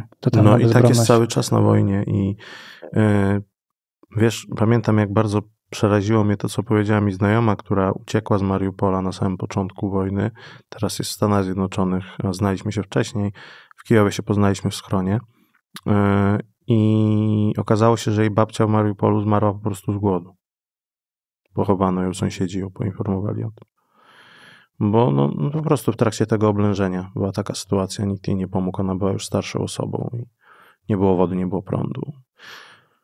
Tego się nie da porównać do tego, co się teraz jednak dzieje na Ukrainie, czy nawet w Charkowie. No jasne, w Charkowie czasami nie ma prądu, Charków jest ostrzeliwany, ale już jeżeli doszłoby do takiego oblężenia jak Mariupolu, to byłoby totalne piekło i miejmy nadzieję, że tak się nie stanie.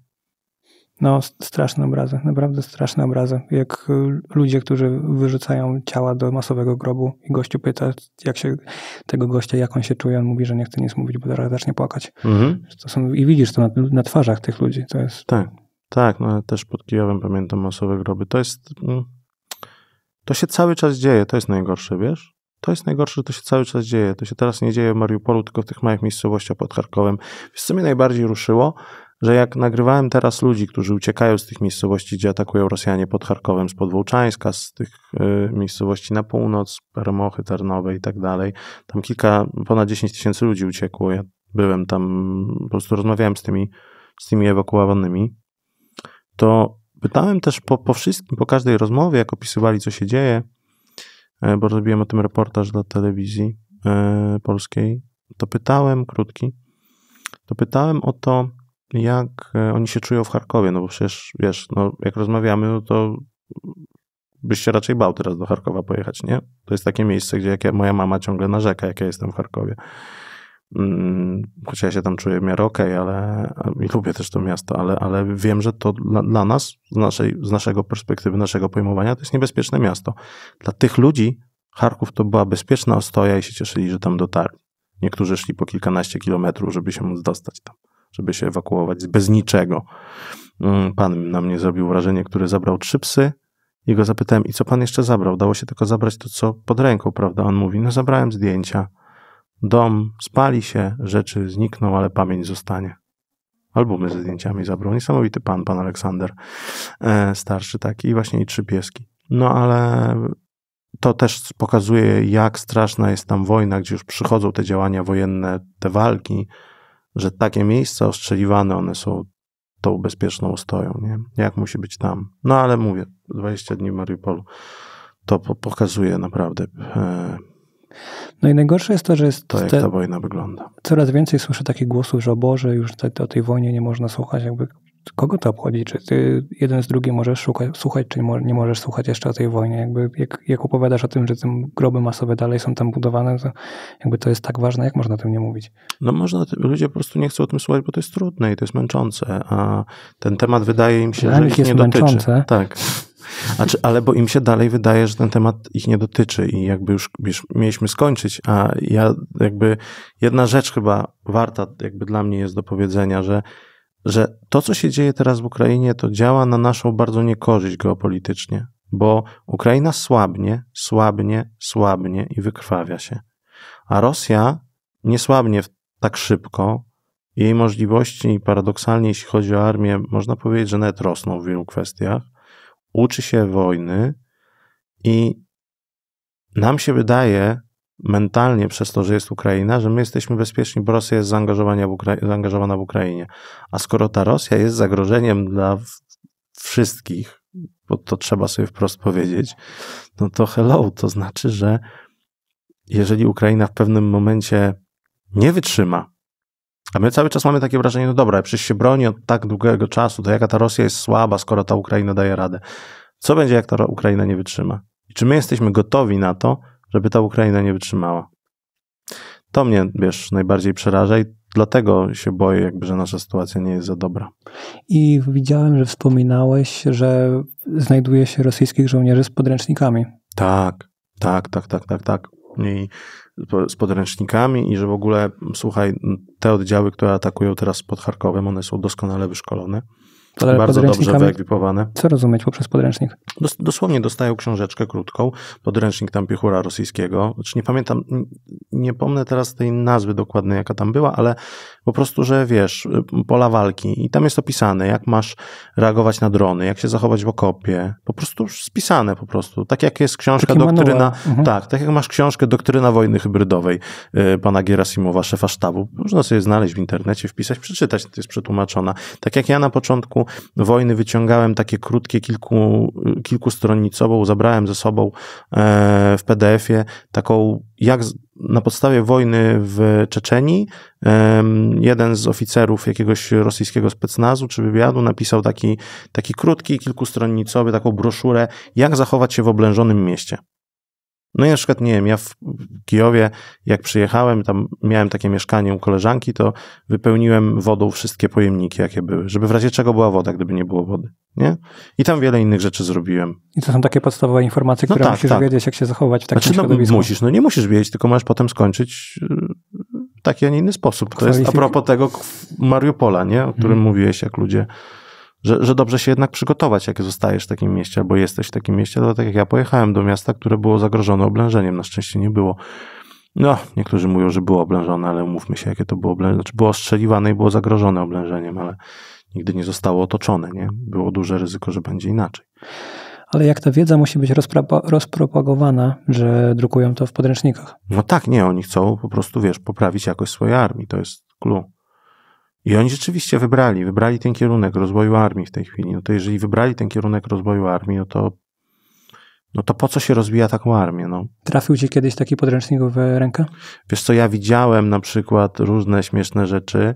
E, widziałem taki podręcznik, ale wcześniej, on był starszy. Oni mieli już wcześniej takie rzeczy. A na przykład miałem też w ręku i mam gdzieś zdjęcie, czy mam po prostu w archiwum zdjęcie e, też podręczników dla medyków u nich, dla lekarzy.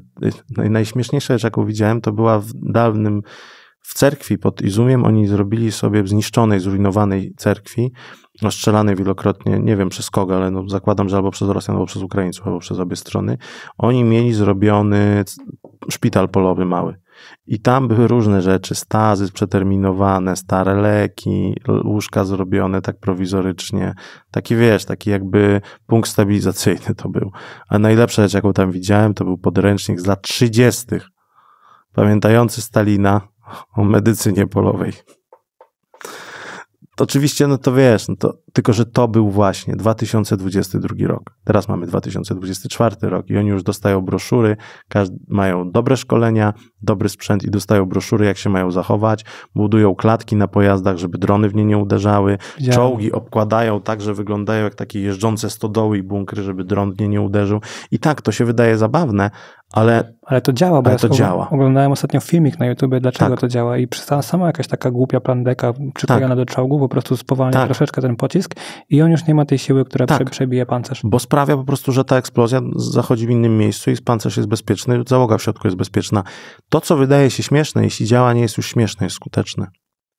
I, no i oni się uczą, oni się uczą. To jest właśnie to, że oni też są sprytni. Ukraińcy są sprytni, oni są sprytni, dlatego ta wojna wygląda tak, jak wygląda. Tylko no, mówię, y, problem jest taki, że w tej chwili Rosjanie mają inicjatywę na całej linii frontu, to oni są w ofensywie. Teraz pytanie, czy już trwa ta ofensywa, to są spory. Eksperci, których szanuję, mówią niektórzy, że już trwa ta ofensywa, że to jest kształtowanie pola walki, że to, co się w tej chwili dzieje, to jest po prostu kształtowanie pola walki, ale chodzi o to, kiedy nastąpi ten decydujący moment tego uderzenia i jak dużo on będzie. Bo to też chodzi o to, że część tej pomocy ze Stanów dotarła, ale część dopiero dotrze w najbliższych miesiącach i to jest dobry moment na uderzenie teraz. No plus Rosjanie zawsze przeprowadzają letnie uderzenia, letnie ofensywy. To jest jak to znowu będzie tak, że Rosjanie zaatakują, zajmą trochę terytorium, wtedy zacznie się taka jadka medialna mhm. i Ukraina znowu dostanie support ze wschodu i znowu się przesuną zachodu, w drugą tak. zachodu, znowu się przesuną w drugą stronę, to to będzie takie... Albo wystoją, no to tak, to tak będzie. To to w najlepszej, w najlepszej wersji wydarzeń to właśnie tak będzie. Brzmi... To Ukraińcy o tym marzą, że tak właśnie będzie.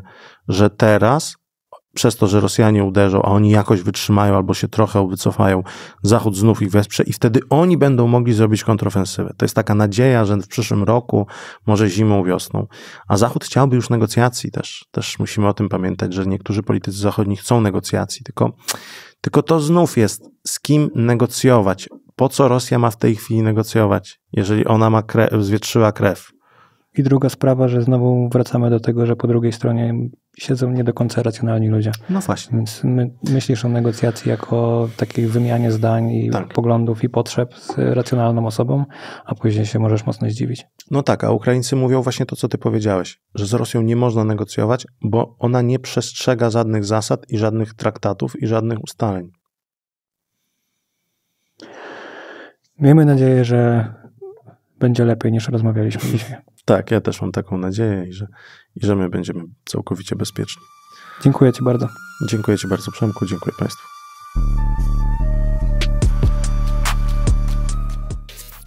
Siemanko. Od teraz specjalnie dla Was będę nieprzygotowany nie dwa, a trzy razy w tygodniu. Nowe podcasty we wtorki, czwartki, niedzielę o 19. Pozdro.